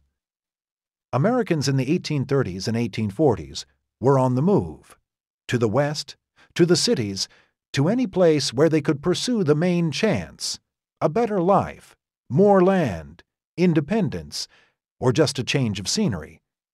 As God's rule knew no boundaries, so the American continent offered a limitless expanse of opportunity. Space, the ability to pursue it, get it, and own it, set the American apart from the European and from Europe, where land was the prerogative of the elite and often closed to certain classes, ethnic groups, and dissenting religions. Yet not all religions or races were welcome in the American West. Their exclusion would become a contentious political issue, a holy crusade, a cause to violence, and eventually a call to civil war. The movement west seemed inexorable. Even the great contrarian Henry David Thoreau found himself drawn to a western route in meanderings from his home in Concord. I must walk toward Oregon, and not toward Europe. For the awakened, the migration affirmed God's plan for America. The destiny of these transplanted Europeans lay in peopling a continent. They perceived this destiny as a fulfillment, not a conquest. I always consider the settlement of America with reverence and wonder, wrote John Adams, as the opening of a grand scene and design in Providence for the illumination of the ignorant and the emancipation of the slavish part of mankind all over the earth. The West was more than a place, it was a sacred trust that God held until His chosen people arrived to spread His faith and His government over the land. Migration meant more than moving from one place to another. It became a holy work to turn virgin soil and to grow Republican ideals and Christian virtues. Many 19th century Americans believed they could discern the will of Providence in daily events, and in these migrations they perceived a divine destiny. As Americans settled new land, they expiated old sins and edged closer to the day of the coming of the Lord. These sentiments blended the sacred with the secular and transcended the evangelical community to engage most Americans. Thomas Jefferson visualized the providential nature of migration with his proposal for the Great Seal of the United States, a portrait of the children of Israel led by a cloud by day and a pillar of fire by night, the new nation inexorably moving toward Canaan. Moving also offered an opportunity to perfect America, to synthesize the best of the old settlements, to create a new, more perfect union. In this Western crucible, pride and jealousy gave way to natural yearnings of the human heart for society. Take the Virginian from his plantation, or the Yankee from his boat and harpoon, and place him in the wilderness with an axe in his hand and rifle on his shoulders, and he soon becomes a different man. His national character will burst the chains of local habit. It was the process of casting off the provincialism of the past and becoming an American.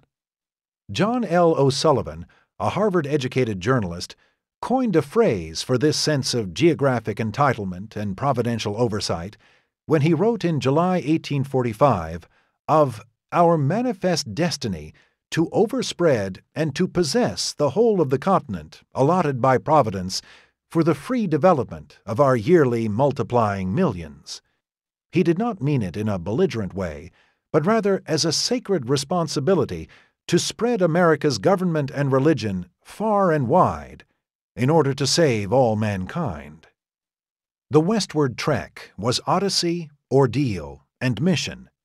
The Mormons offered the best proof of just how distinctly American was this journey, though O'Sullivan and most other Americans would not have singled them out as representative of anything except trouble. The Mormons sought the ultimate West, the establishment of a new Zion, a literal heaven on earth. From the first New England settlements, the building of a perfect society, defying the Augustinian dictum about the city of God and the secular realm as distinctive spheres, had burrowed into the national consciousness through the churches, political discourse, and literature. The Mormons would realize this dream. Of all the varied movements in American society during the first half of the 19th century, the Mormons perhaps best embodied the culture of that era. Deeply spiritual in a religious age, hard working in a nation where the work ethic assumed the proportions of an eleventh commandment, and willing to endure hardship in pursuit of their dream. While they cherished the importance of the individual conversion, the Mormons believed strongly in the group as both a shield of protection and an engine of advancement, principles that new settlements west of the Appalachians had enshrined. It was a most optimistic faith in the most optimistic country. Its founding story was America's story, the progressive triumph of God's power over evil, and the belief that America was the Lord's Zion, and that this Zion would be located somewhere in the western Eden. Yet this most American group was also among the most persecuted. They stretched Americans' tolerance in religious affairs, but their primary sin was carrying 19th century American culture to its logical conclusion. At what point did hard work become obsession? How much should communal cohesion overwhelm individual choice? When did religious freedom slide into heresy? Their secondary sin was success. Mid 19th century America was a crucible for all sorts of ideas and beliefs. Learned individuals measured and counted bumps on people's heads to determine their personality, and they called it science. Leading literary lights left their comfortable homes and villages to establish rural communes where members exchanged work roles, money, and each other's spouses and they called it utopia. Physicians advocated immersions in hot and cold water, emulsions of mercury, and diets heavy on crackers as body cleansing regimens, and they called it therapy. Some people believed that biblical numerology predicted the end of the world. The date shifted, but 1843 seemed to be most likely, and they called this revelation. All of these movements crashed, most sooner, some later. Just as personal failure reflected an individual character flaw, so the failure of movements indicated their shaky underpinnings. Such, most assumed, would be the case with the Latter day Saints. But they did not fail, and their detractors expressed both wonder and anger at their persistence. If the Mormons succeeded, then there must be something to their theology. Just as failure was the measure of men, so too was success, even more. In the late 1820s, across western Vermont into adjacent New York State, and on the shores of the Great Lakes into the Middle West, the fires of religious enthusiasm stirred thousands of residents who carried the flames with them as they migrated westward. The western part of New York State was so singed by the phenomenon that people called it the Burnt District. In catching this spirit, young Joseph Smith was not unlike myriad other youngsters, wrestling with changes in their bodies and the assault of new ideas on their minds, the wild blending of the occult and the Christian. Daniel Hendrix, a neighbor, thought young Joe was the most ragged, lazy fellow in the place, and that is saying a good deal. His very appearance portended failure. I can see him now in my mind's eye, Hendrix related, with his torn and patched trousers, his calico shirt as dirty and black as the earth, and his uncombed hair sticking through the holes in his old battered hat. In the dead of winter, young Joseph, so poor or so oblivious, trudged through the snow and slush with paper thin shoes. Yet he never seemed moody or resentful, and made friends easily. Above all, everyone agreed, Joseph had a fertile imagination. He never could tell a common occurrence in his daily life without embellishing the story with his imagination. The story he told of one day in 1820 was about his sudden conversion, not a unique experience in the overheated religious environment, and the appearance of two bright angels who told him that all existing religious beliefs were false. I asked the personages who stood above me in the light which of all the sects was right, and which I should join. I was answered that I must join none of them, for they were all wrong, and all their creeds were an abomination in his sight. It was a feeling many spiritual Americans experienced, including Ralph Waldo Emerson, who in his 1832 Divinity School address lamented the emptiness of the contemporary church. For Emerson, God is, not was. He speaketh, not spake.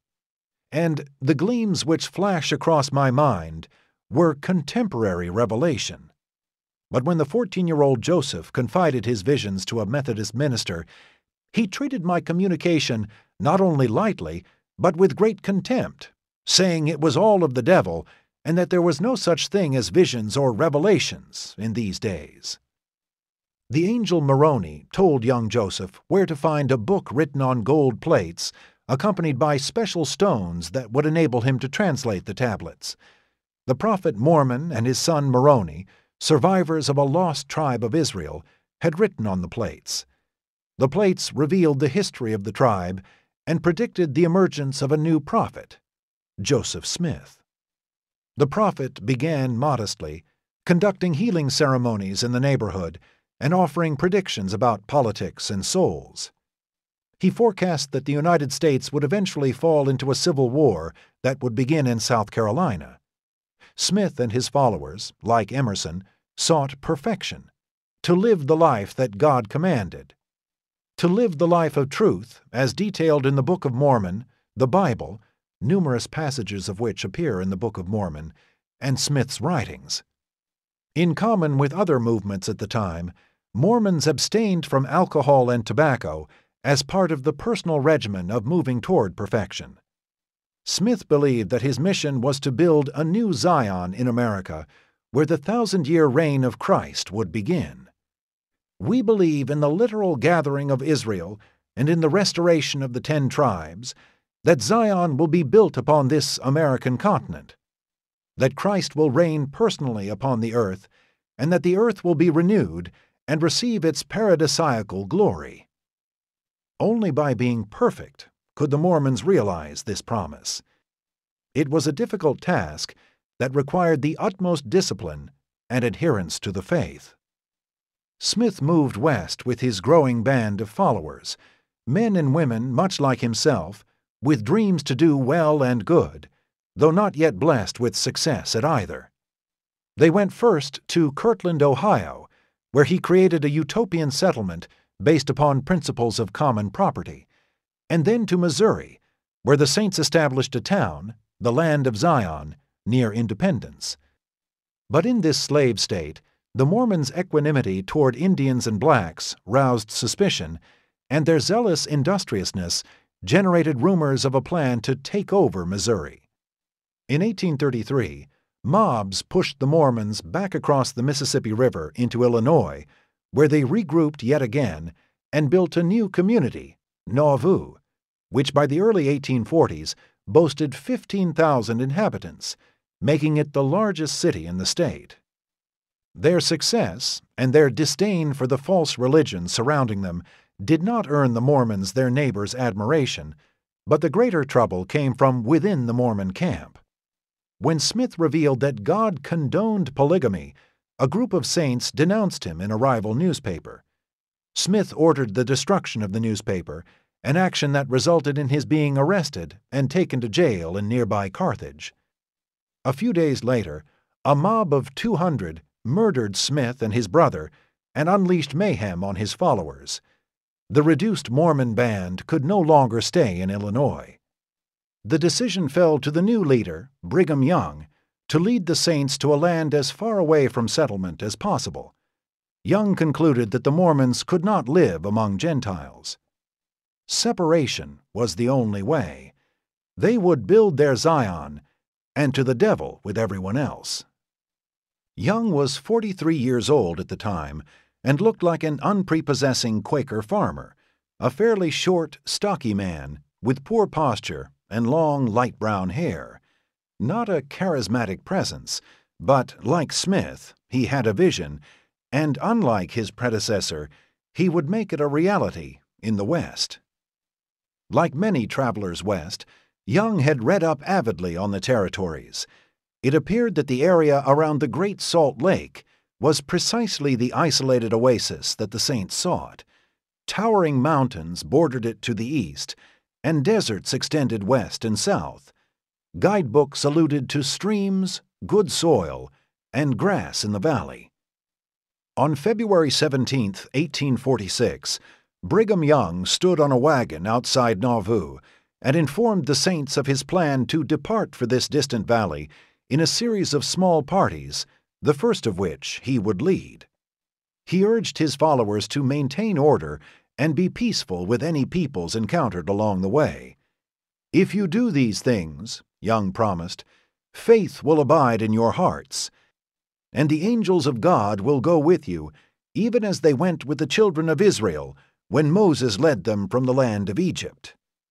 Here on the flat plains of Illinois, the fulfillment of the dreams of Americans from John Winthrop forward would begin. The chosen people going off to plant their city on a hill.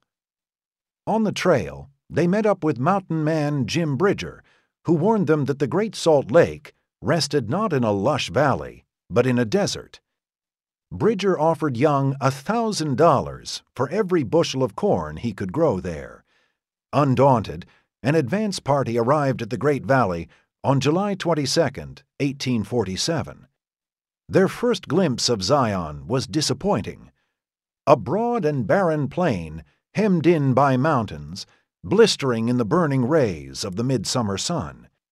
No waving fields, no swaying forests, no verdant meadows, but on all sides a seemingly interminable waste of sagebrush the paradise of the lizard, the cricket, and the rattlesnake. But Jim Bridger would lose his bet. Almost immediately, the Saints planted crops, built a dam across what they dubbed City Creek, and watched the rain fall. When the first wave of migration ended that autumn, 1,800 Saints called the Great Salt Lake home. On this site, Young would build a great city, and, as at Jerusalem, a great temple. Brigham Young was the latest in a long line of American prophets who held fast to the faith of a distinctive national destiny that the United States was a resurrected Israel whose fulfillment was only a matter of time and the hard work of God's servants. These ideas permeated American society long before Young's Odyssey, but not until the 1840s did the connection between westward migration and national destiny become an integral part of popular culture. And not until that time did the United States understand itself as an exemplar of faith and liberty, what Thomas Jefferson called a standing monument and example, and move to a more active role. An evangelical religion spawned an evangelical democracy. The Latter day Saints demonstrated the creative possibilities of the Second Great Awakening. The movement's energy, however, could unhinge as well as bind together peoples and places. Its destructive potential was evident in the breakup of the major evangelical Protestant denominations beginning in the 1840s, an ominous portent of a larger national disintegration.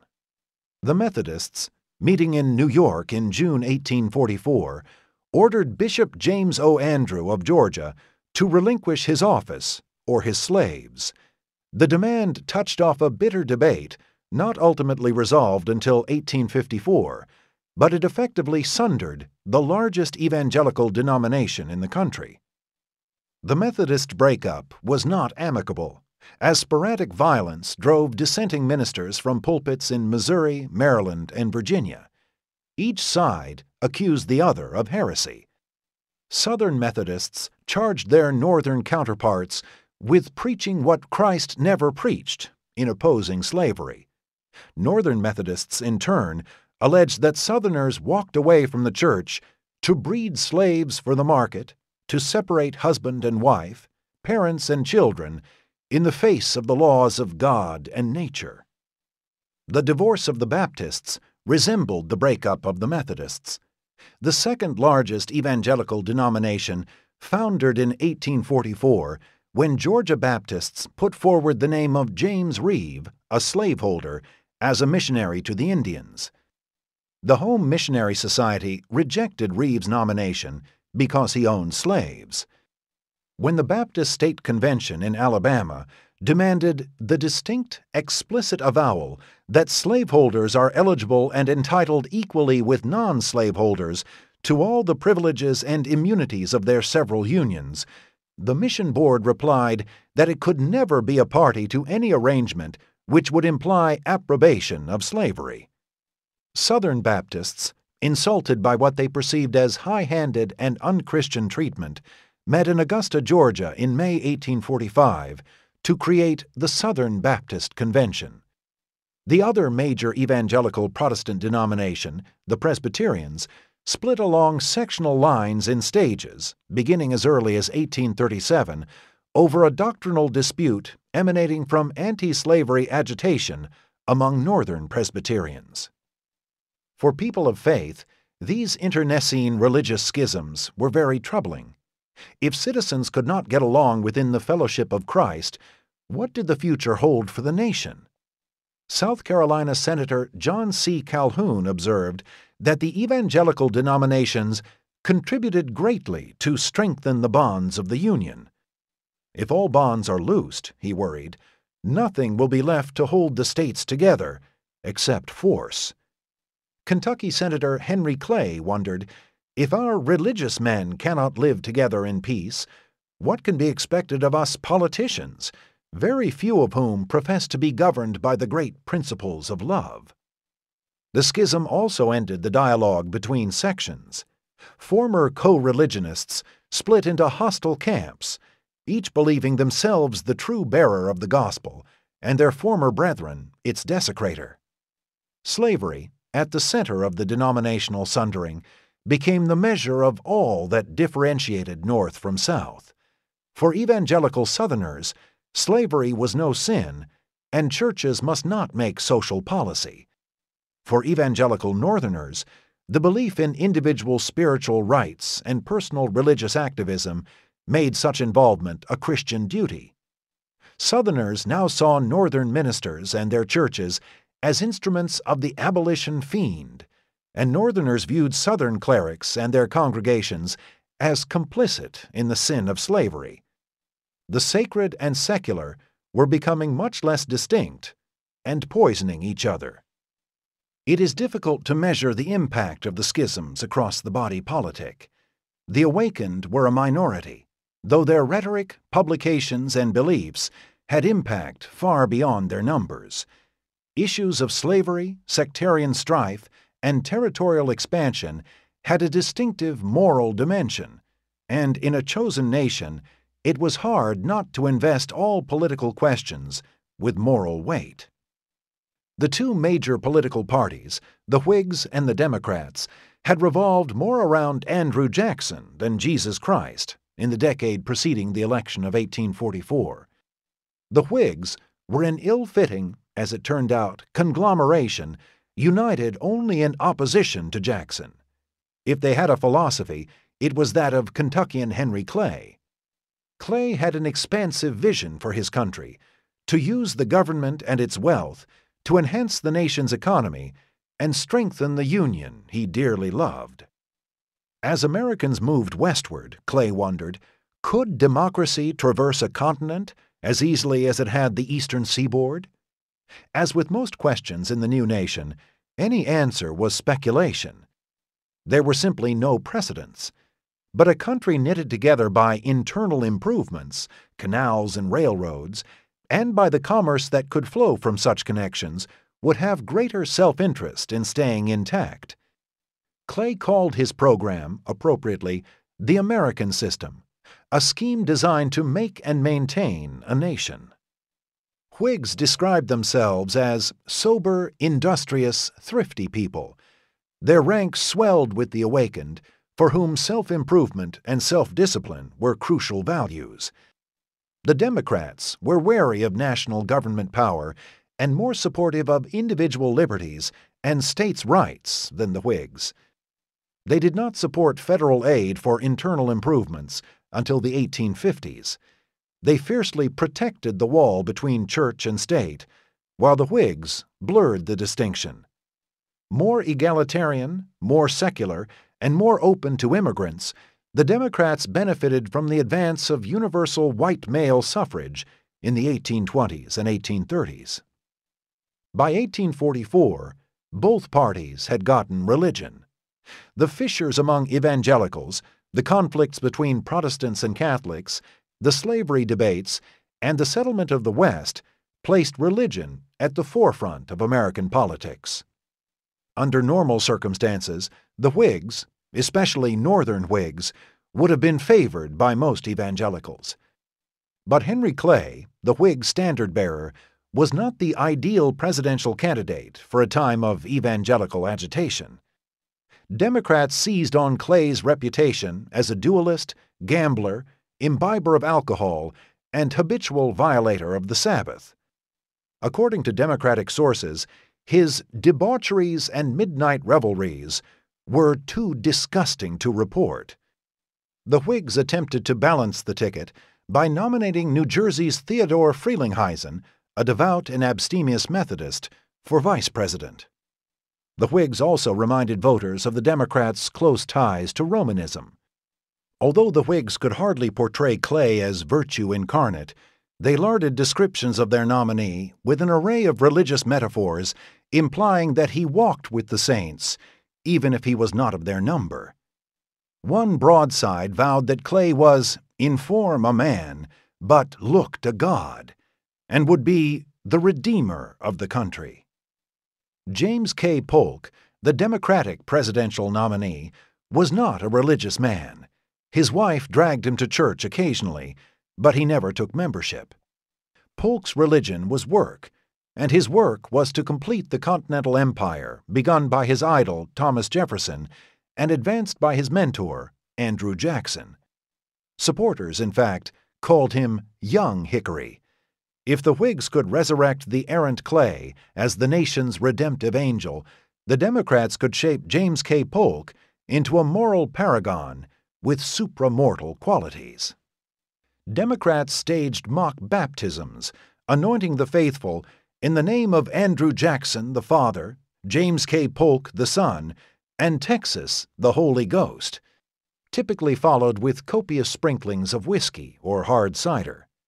Democrats well aware of the importance of women in bringing indifferent husbands to Christ, offered the example of Polk's wife, the very Presbyterian Sarah Childress. They confided that Sarah served as a mentor of faith to her husband and ensured that he was strictly a temperance man in everything in liquor, tobacco, in eating, and in all respects. Moreover, Polk found gambling abhorrent and was an anti duelist on Christian principles.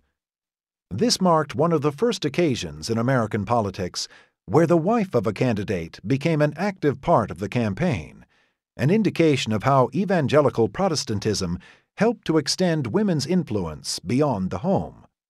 Democrats hoped that Sarah Childress's example would inspire women to evangelize their husbands to vote for James K. Polk. While the Whigs and the Democrats wrapped their causes and candidates in the Shroud of Turin, the Liberty Party was the genuine article, America's first Christian political party.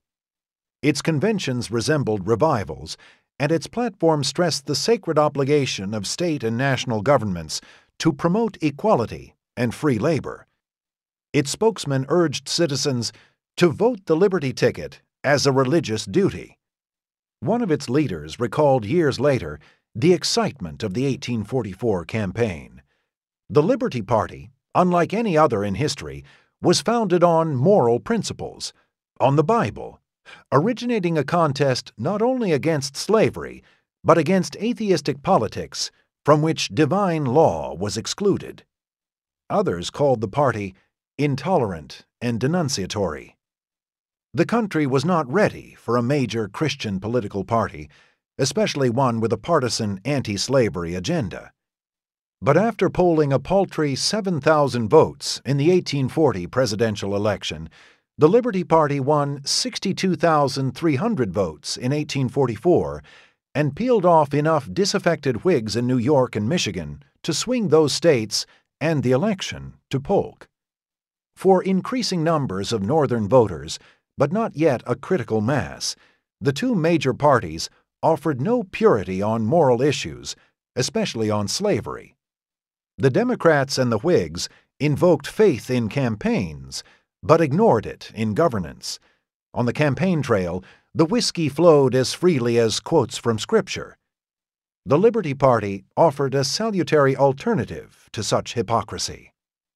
The slavery issue, which provoked the denominational schisms, loomed over the 1844 election campaign for an even more salient reason the proposed annexation by the United States of the Texas Republic, the holy ghost of the Democratic Trinity.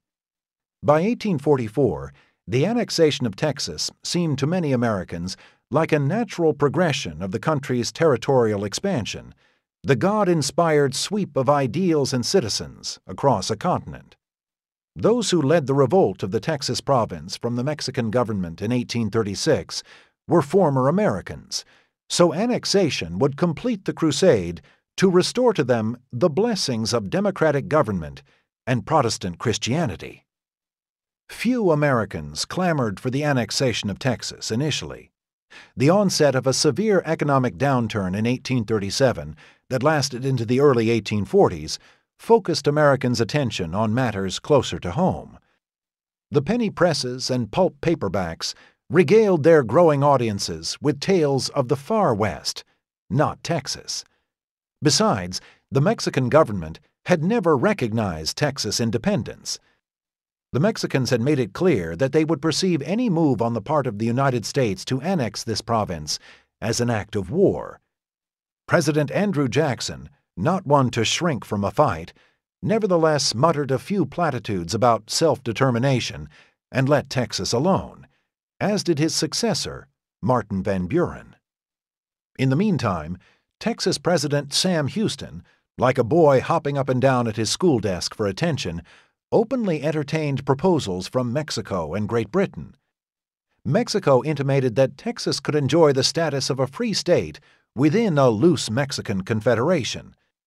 Rumors circulated that the British had promised to protect the independence of Texas in exchange for the compensated abolition of slavery, a plausible deal given Sam Houston's indifference to the institution. Houston did not seriously entertain the Mexican offer, and although a British official visited Texas with such a scheme in mind, neither the British government nor Houston discussed it formally. Houston was much less interested in striking dubious deals with foreign governments than in raising the profile of the annexation issue in Washington. The Whigs had always been cool to annexation, they worried about the expansion of the country beyond the means to govern it, and they worried about the probability of a war with Mexico. The big Whig, President John Tyler, was not really much of a Whig at all. Placed on the ticket as the vice presidential candidate in 1840, as a sop to Southerners whose major attraction to Whig philosophy was that Andrew Jackson and Martin Van Buren were Democrats, Tyler suddenly found himself president when William Henry Harrison succumbed to the rigors of the job after only one month in office. Tyler, a thin, sour faced Virginian, was genial enough to intimates and held the usual graces one associates with the Old Dominion. The fact that Tyler was an accidental president bothered him not in the least, and he proceeded to chart his own course, much to the dismay of mainstream Whigs. As a nationalist, Tyler worried about Sam Houston's dalliances with the Mexicans and especially with the British. So he sent Abel P. Upshur, his Secretary of State, to sound out Houston about a possible annexation treaty in October 1843. However, while Upshur was inspecting a Navy vessel, one of its prize guns blew up, destroying a good deal of the ship, and Upshur as well. Tyler compounded the accident by appointing John C. Calhoun as his new Secretary of State. Calhoun was brilliant, but he was not a diplomat. With a face and ideology seemingly chiseled from rock, Calhoun had the appearance of an Old Testament prophet who should not be messed with. Like Tyler, more a Whig by convenience than by conviction, Calhoun had some specific ideas about how the United States should handle the annexation issue. For Calhoun, annexation made sense only as a measure to save slavery from destruction. History and prevailing wisdom dictated that the institution, like a vampire, required periodic infusions of fresh blood, territory, to survive. Cotton cultivation depleted the soil. The abundance of fertile land lulled planters into a security that abjured principles of conservation. The slave population, which, despite the closure of the overseas slave trade, increased twofold during the first half of the 19th century, would soon overrun the white population. Too many slaves on too little land raised security concerns and could ruin the value of a planter's investment, eventually destroying the institution itself. From Calhoun's political standpoint, the South had already lost the national population competition by the early 1840s. Representatives from non slaveholding states easily outnumbered those where slavery yet existed. The Senate was the South's last bastion of influence in the federal legislature. Regardless of population, each state sent two senators to Washington. It did not take a clairvoyant to see that the migration westward to the Pacific coast would eventually result in an avalanche of free states that would make the South forever beholden, a slave, if you will, to the power and whims of the Free States. Calhoun drafted an annexation treaty and laid it before the Senate in April 1844 with a cover letter urging passage because British abolitionists were poised to abolish slavery in Texas. That no such plot existed was beside the point. The association of slavery and annexation effectively doomed the measure, even among Southerners who wondered why the slavery issue even entered the picture when an argument for annexation in the name of manifest destiny might have drawn a majority of the votes.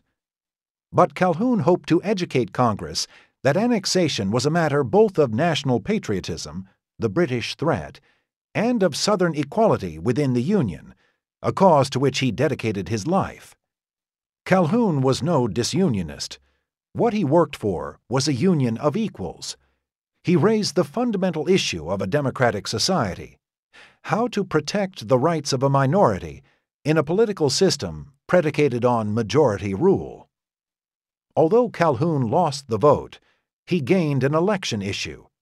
Northern vilification of Calhoun, the Tyler administration, and the South itself irritated Southerners, especially in the lower South, where slaveholding was more prevalent. If equality was a great principle of the Union, then why were Northerners hell bent on relegating the South to a permanent minority? All white Southerners understood the implications of dependence, a term synonymous with slavery in the national lexicon. The Democratic Party platform cannily linked Texas with Oregon, where the British and Americans held conflicting claims, rendering the acquisition of both a matter of national security and honor rather than sectional greed. Polk, despite his Southern origins, perceived Texas as a way station on the road to his ultimate goal of a Pacific empire, not as a safety valve for excess slaves. The Whigs chose party loyalty over Texas, recognizing that advocacy for annexation would split the party irrevocably. Northern Whigs perceived annexation fever as a symptom of a larger disease, a conspiracy among slave states to undermine basic American ideals. Henry Clay focused on promoting his American system, fearing that agitation of the slavery issue threatened his beloved Union. But Texas and Oregon had gotten the patriotic juices flowing, and the voters perceived Clay as soft on the foreign menaces and as hostile to the interests of slaveholders. He lost every lower South state, barely broke even in the border states, and faltered in the North, where Polk and the Democrats convinced voters that the party wanted Oregon and California as badly as it longed for Texas. John Tyler interpreted Polk's victory as a mandate for annexation. Three days from the end of his presidency, on March 1, 1845, Tyler signed the Texas Annexation Bill after it passed both the House and the Senate by narrow party line votes.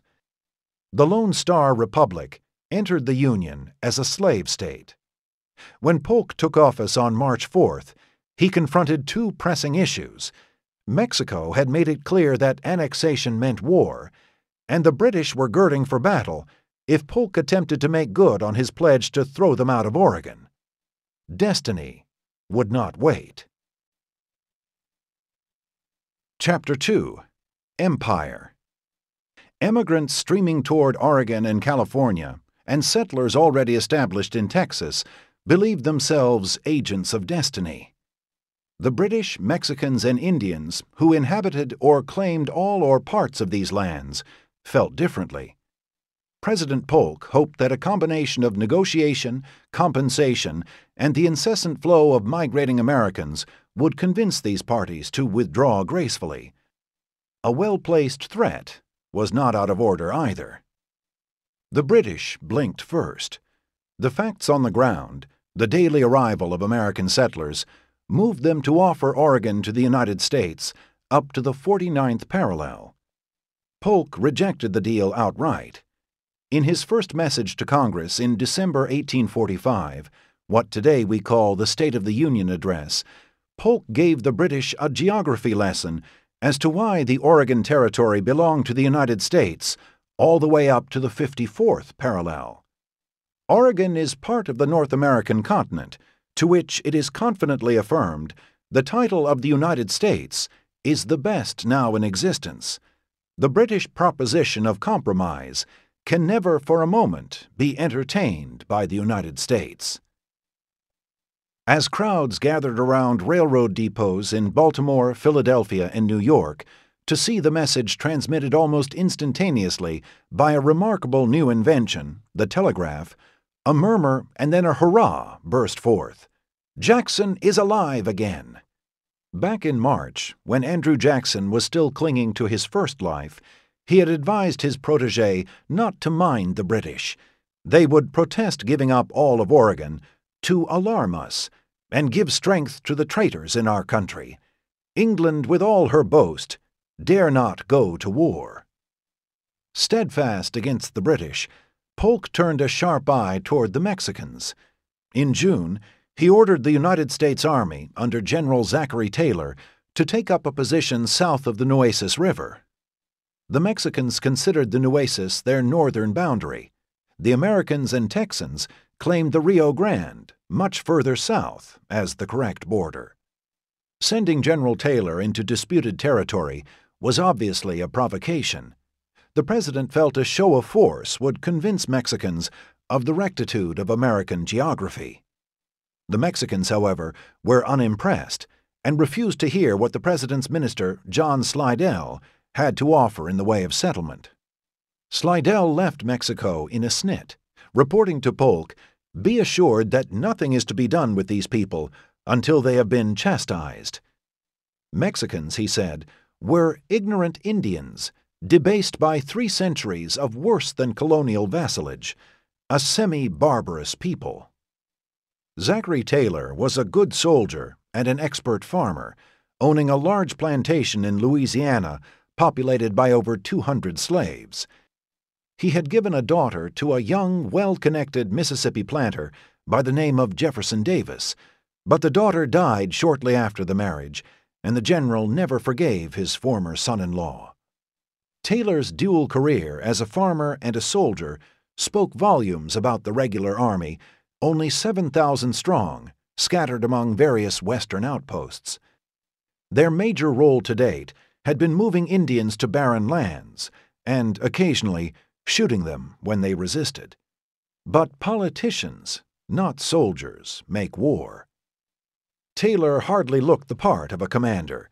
He appeared as if he had just exited a cotton press and was only awaiting twine to be shipped to some textile mill up north. Squat, with a face that had more ridges than most mountain ranges, he rarely wore anything that would indicate his rank.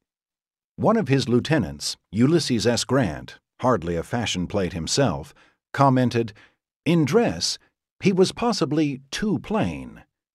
More important to Grant, though, Taylor was known to every soldier in his army and was respected by all. The Mexicans and the British were part of the same problem, according to Polk. The British had negotiated with Sam Houston, President of Texas, trying to lure the Lone Star Republic away from the United States. Now the Mexicans were conspiring to give the British a stronger foothold in California.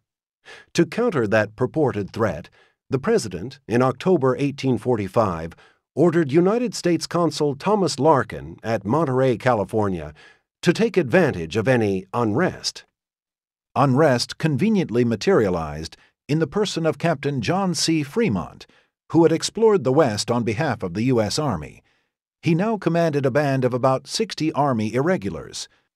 No one knew for certain if they were officially American soldiers or an assortment of mountain men looking for work and adventure. They rode into California, supposedly scouting for better trails into that territory. The movements in California and Texas, or Mexico, depending on one's perspective, received close attention in Mexico City. General Mariano Paredes, riding a wave of anti American sentiment, led a group of Army officers into the capital and deposed President Joaquin Herrera after firing a few perfunctory shots and coaxing the priests to ring the church bells. Paredes held the same view of Americans that many in the United States held of Mexicans. They were stupid and cowardly. On January 13, 1846, Secretary of War William Marcy sent the following message to General Taylor at Corpus Christi Sir, I am directed by the President to instruct you to advance and occupy, with the troops under your command, positions on or near the east bank of the Rio del Norte, Rio Grande. You will not act merely on the defensive. Taylor dutifully broke camp and moved to the Rio Grande, but the last sentence of Marcy's order puzzled him. Three hundred yards across the Rio Grande, the citizens of Matamoros clambered to their rooftops waving good naturedly to the 4,000 or so Yanks, who waved back. American soldiers enjoyed the view of the young, dark skinned Mexican women who, without inhibition, disrobed along the riverbank and plunged in for a bath. Several soldiers waded into the river to get a closer look, but Mexican guards warned them away. President Paredes made clear to the Polk administration that he considered the presence of American troops on the banks of the Rio Grande an act of war. To affirm his position, he refused to meet with John Slidell, the oft rejected emissary from Washington, who now hoped to arrange an agreement with the new and financially strapped Mexican government to buy New Mexico and Northern California. But no Mexican government could sell those territories at any price and remain in power. The Mexicans and the Americans watched each other warily across the river. The only troop movement occurred among some of Taylor's Irish Catholic soldiers. In the early spring of 1846, they began to cross over to the other side of the river, responding to Mexican pleas of religious brotherhood and a bounty of 320 acres. The Mexicans asked them to weigh the bigotry they encountered in American cities against the full citizenship and the grant of land they would enjoy in Mexico. After 14 Irish Americans swam over one night, General Taylor issued shoot to kill orders. When two more attempted desertion shortly thereafter, they were shot. Desertions declined, but not before at least 200 Irish Catholics joined the Mexican army, forming the San Patricio Battalion. On the Matamoros shore one April morning, a solemn file of priests appeared, sprinkling holy water on the cannons aimed at American troops. When Colonel Truman Cross, the quartermaster, did not return from his usual morning horseback ride, Taylor sent out a patrol. The patrol encountered 1,600 Mexican soldiers, who easily overwhelmed them. That evening, an American soldier wrote home, All idea of there being no fight has ceased. War has commenced, and we look for a conflict within a few days. Taylor reported to the President in his usual terse style hostilities may now be considered as commenced. No telegraph line existed between Texas and Washington, so it would be three weeks before the President submitted his message to Congress requesting a declaration of war. The message, like most of Polk's writings, was long and larded with legal jargon, citing grievous wrongs perpetrated upon our citizens throughout a long period of years. The United States had maintained a remarkable forbearance through these insults, but with the Mexican invasion of American soil, the nation must defend itself. That Mexico claimed this territory and that the lengthy oppression of American citizens was an overwrought assertion did not faze the Congress. The House of Representatives took all of 30 minutes to debate Polk's message and then voted for war. It took a bit longer in the Senate John C. Calhoun put forth the novel idea that perhaps it might be best to wait and see if the Mexican government would repudiate the ambushers. But who could vote against punishing Mexico for killing Americans? War fever erupted. Crowds thronged city streets shouting, Mexico or death. Posters plastered public buildings and businesses. In Illinois, three regiments were called for and 14 regiments volunteered.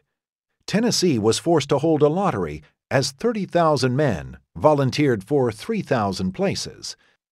The young editor of the Brooklyn Daily Eagle, Walt Whitman, joined the war whooping.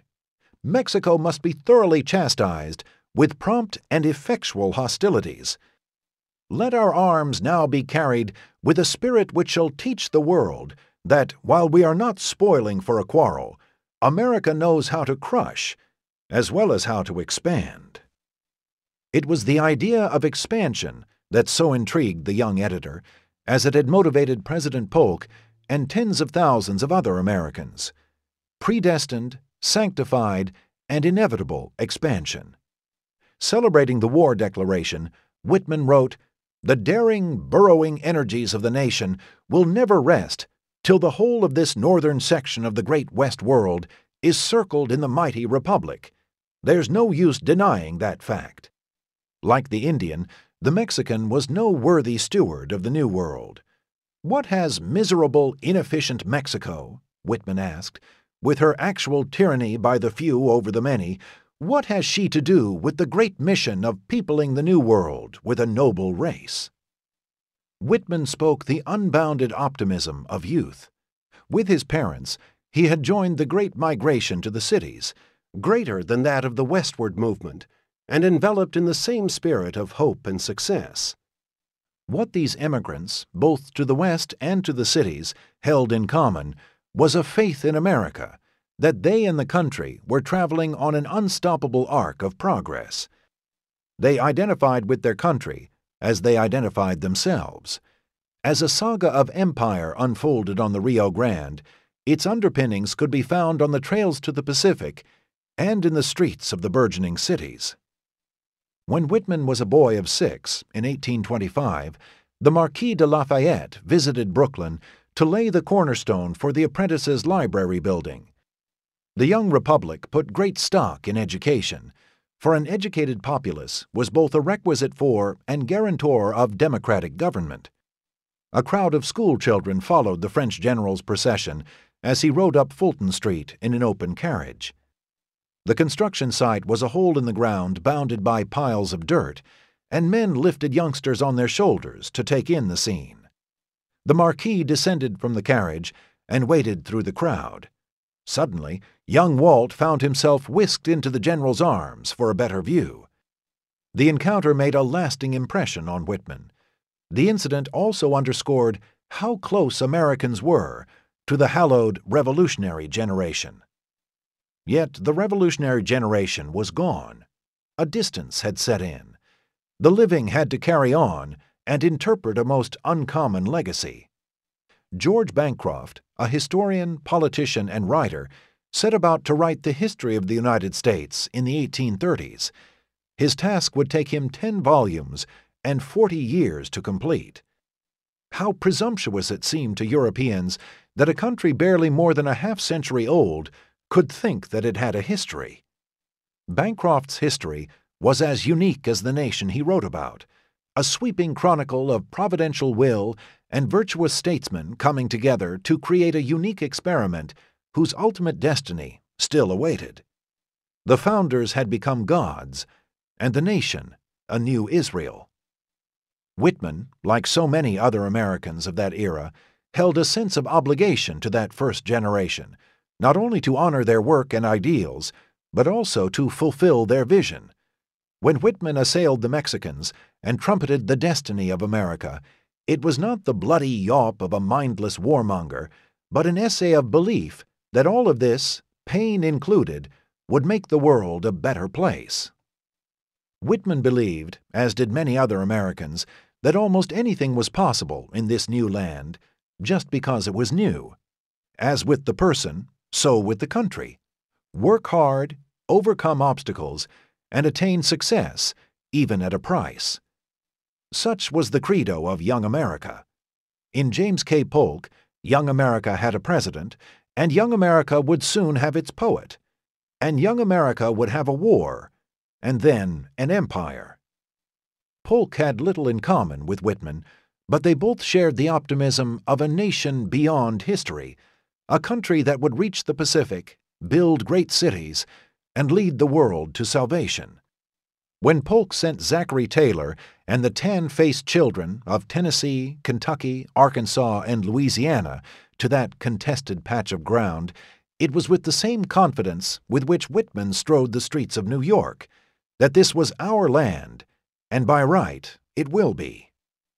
When word reached New York of Congress's declaration of war on Mexico in May 1846, a boisterous multitude filled the streets, shouting hurrahs. The theme of 76 played across the land. For this generation of Americans, here was an opportunity to honor the founder's legacy and extend the experiment across the continent. The United States Army was God's sword, whose every cannonball is a missionary and every soldier is a colporteur, a traveling salesman of religious literature. To be sure, voices, especially in the Whig Party and in New England, spoke out against the war. A disgusted Whig editor in Georgia complained, We have territory enough, especially if every province, like Texas, is to bring in its train war and debt and death. Some of the professional soldiers questioned the basis for going to war. Lieutenant Colonel Ethan Allen Hitchcock confided that, My heart is not in this business. I am against it from the bottom of my soul as a most unholy and unrighteous proceeding. It looks as if the government sent a small force on purpose to bring on a war, so as to have a pretext for taking California and as much of this country, Mexico, as possible.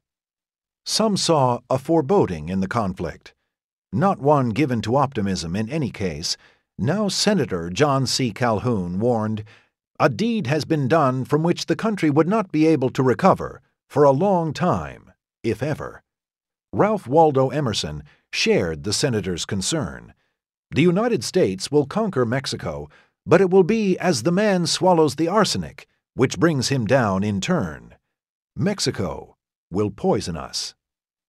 Nor did the evangelical Christian community line up with the Polk administration. Theodore Parker, among several New England evangelicals, intoned, War is an utter violation of Christianity. If war be right, then Christianity is wrong, false, a lie. Invoking the spirit of 76, much as the war's proponents did, Parker continued, Men will call us traitors. That hurt nobody in 76. We are a rebellious nation. Our whole history is treason. Our blood was attainted before we were born.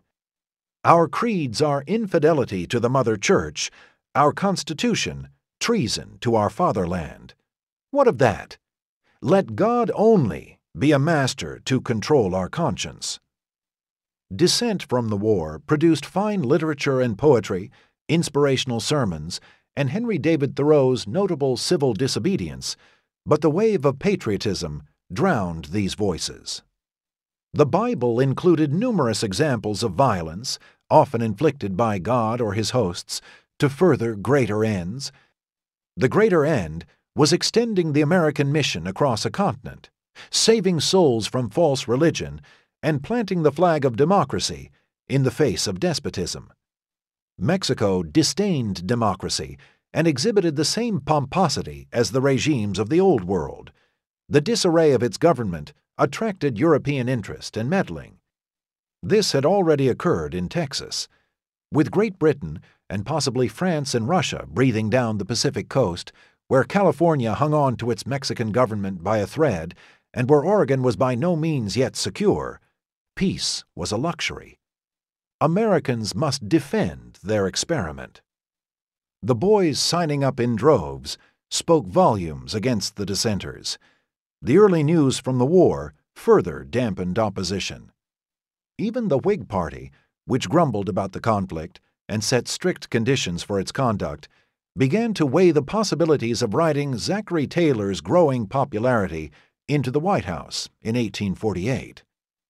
Taylor scored quick victories against courageous but disorganized Mexican troops at the battles of Palo Alto and Resaca de la Palma in May 1846. Americans hailed him as the common man's Napoleon, old rough and ready, who spurned the trappings of his rank like a true Democrat. Polk was now the ringmaster of a three ring circus intrigue in California, staring down the British in Oregon, and war in Mexico. He moved quickly to defuse the Oregon standoff retreating from his campaign promise of 54-40 or fight and settling on the British offer of the 49th parallel.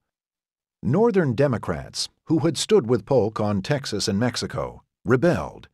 He had promised them all of Oregon, a safety valve for their workers and dreamers, and now he had given part of it away. Maybe the Whigs were right that the Mexican War was just a plot to extend slavery and grab territory. In August 1846, Polk asked Congress to appropriate $2 million for extraordinary expenses connected to the war. Many suspected the funds represented a down payment on land the United States would purchase from the Mexican government, already reeling from a series of military reverses. By this time, few lawmakers held to the fiction that the conflict with Mexico was simply a defensive war. The president had already dispatched expeditions to Santa Fe, New Mexico, and California to dislodge those provinces from Mexico. To be fair, although Polk hailed from a slave state, his territorial ambitions were primarily patriotic. A firm believer in manifest destiny, he just wanted to hurry the process along. Others, however, looked upon the president as a tool of the slaveholders. The Oregon betrayal was merely the latest in a line of devious deeds to add more slave territory. It was 7 p.m. on a fetid August evening in the capital when Pennsylvania Congressman David Wilmot, a member of Polk's Democratic Party, rose to attach an amendment to the appropriations bill that, for all the fuss about Polk's motives, seemed destined for passage, especially since everyone wanted to go home and escape the cloying heat of Washington. Wilmot's amendment was a model of simplicity, provided that as an express and fundamental condition to the acquisition of any territory from the Republic of Mexico by the United States, by virtue of any treaty which may be negotiated between them, and to the use by the executive of the moneys herein appropriated, neither slavery nor involuntary servitude shall ever exist in any part of the said territory, except for crime, whereof the party shall first be duly convicted. David Wilmot was not an abolitionist. As he put it, He had no morbid sympathy for the slave, but he detested slavery because he believed bonded black labor would compete unfairly with free white labor. In order to place his proviso within a conservative constitutional context, Wilmot had deliberately cribbed from the language of Thomas Jefferson's Northwest Ordinance of 1787 that prohibited slavery in those territories. All he wanted was to preserve the territories for the sons of toil of my own race and own color. Wilmot and his constituents, indeed most Northern whites, couldn't have cared less about slavery where it existed. But the West, as a place of personal and national redefinition and rebirth, held a sacred place among American ideals. To defile the West with bonded labor, to nullify the hard work and perseverance of those migrants who sacrificed so much to make the journey, would be a crime of great enormity. Pennsylvanians were not about to debark for the West tomorrow, but many had moved from other places, and they would move again, and they wanted above all a fair chance. Slavery removed that possibility. Party discipline collapsed as Northern Democrats rallied behind the Wilmot Proviso and against the president, who was furious that his appropriations bill had become a vehicle for grandstanding on an extraneous and divisive issue. He considered the proviso a mischievous and foolish amendment. Polk wrote in his journal what he deeply believed. What connection slavery had with making peace with Mexico, it is difficult to conceive. Others found it much easier to make the connection. The Boston Whig summarized the impact precisely. As if by magic, it brought to a head the great question which is about to divide the American people. Threats and recriminations flew. The rhetoric of the Congress ratcheted to a fever pitch. Ohio Congressman Columbus Delano warned the South, We will establish a cordon of free states that shall surround you. And then we will light up the fires of liberty on every side until they melt your present chains and render all your people free. Southerners responded in kind. Whig Senator Robert Toombs of Georgia issued a warning.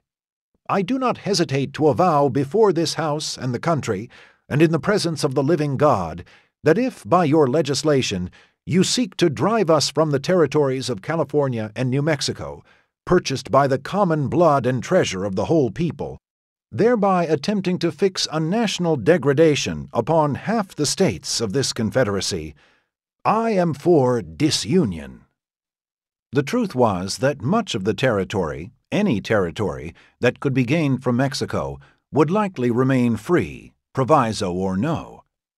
Too many emigrants from the free states, too few slaveholders, and a climate and soil uncertain for the gang cultivation of crops necessary for slave labor to be profitable. But from August 1846 onward, reality scarcely made a demonstration in the capital. Symbols mattered. It mattered to the South when the rest of the nation did not respect its institutions. Pride, honor, face saving, call it what you will, tinged every issue henceforth, and every issue seemed to touch on slavery. Missouri Democrat Thomas Hart Benton compared the slavery question with the plague of frogs that God had inflicted on the Egyptians to convince them to release the Hebrews from bondage. You could not look upon the table, but there were frogs. You could not go to the bridal couch and lift the sheets, but there were frogs. So it was with this black question, forever on the table, on the nuptial couch, everywhere.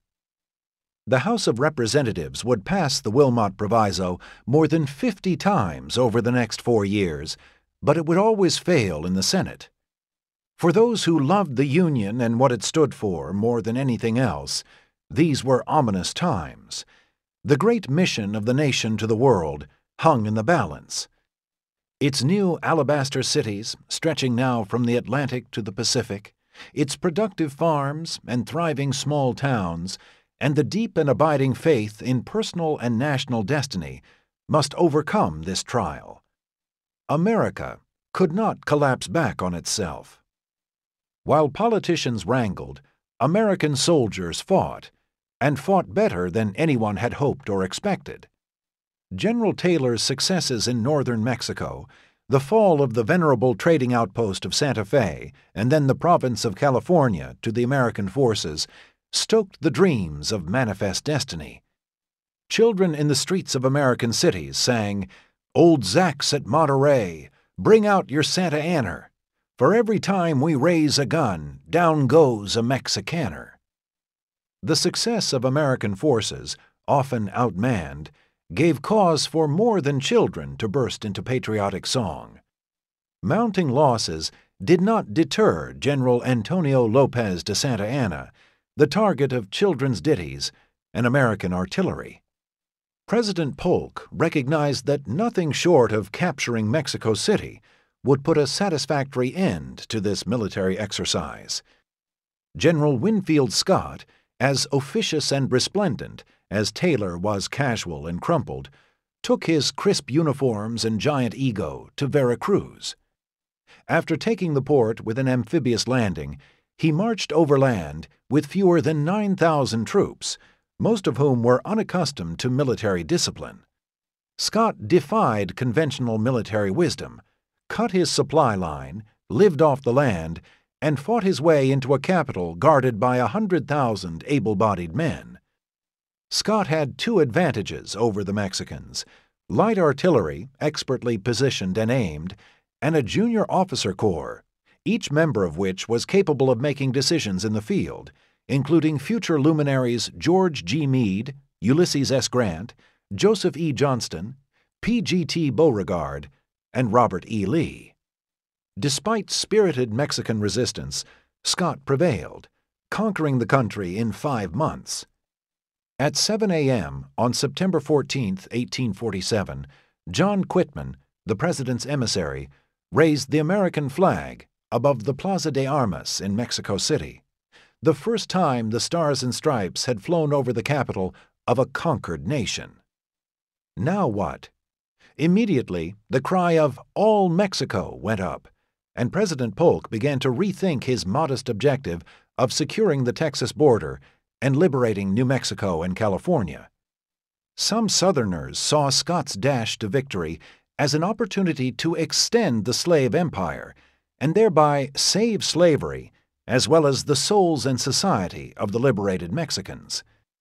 South Carolina novelist and poet William Gilmore Simms wrote excitedly to his Senator James Henry Hammond that slavery will be the medium and great agent for rescuing and recovering to freedom and civilization all the vast tracts of Texas, Mexico, etc., and our sons ought to be fitted out as fast as they are ready to take the field, with an adequate provision in slaves, and find their way in the yet unopened regions.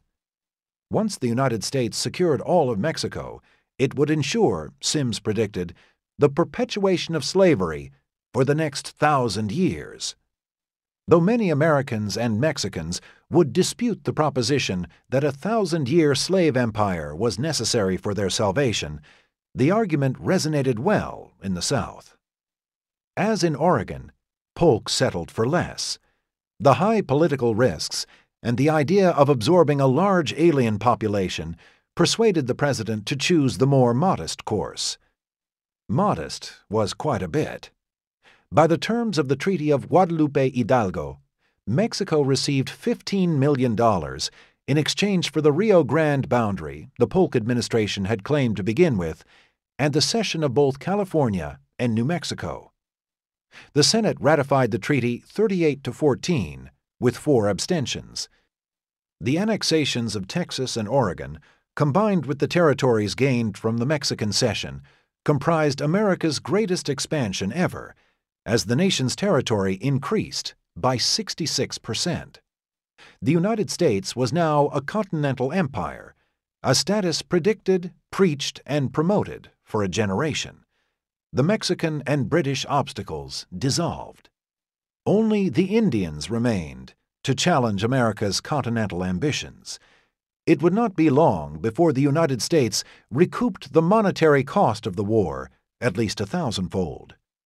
The moral accounting would follow, and a greater threat to America's destiny would emerge. Quickly.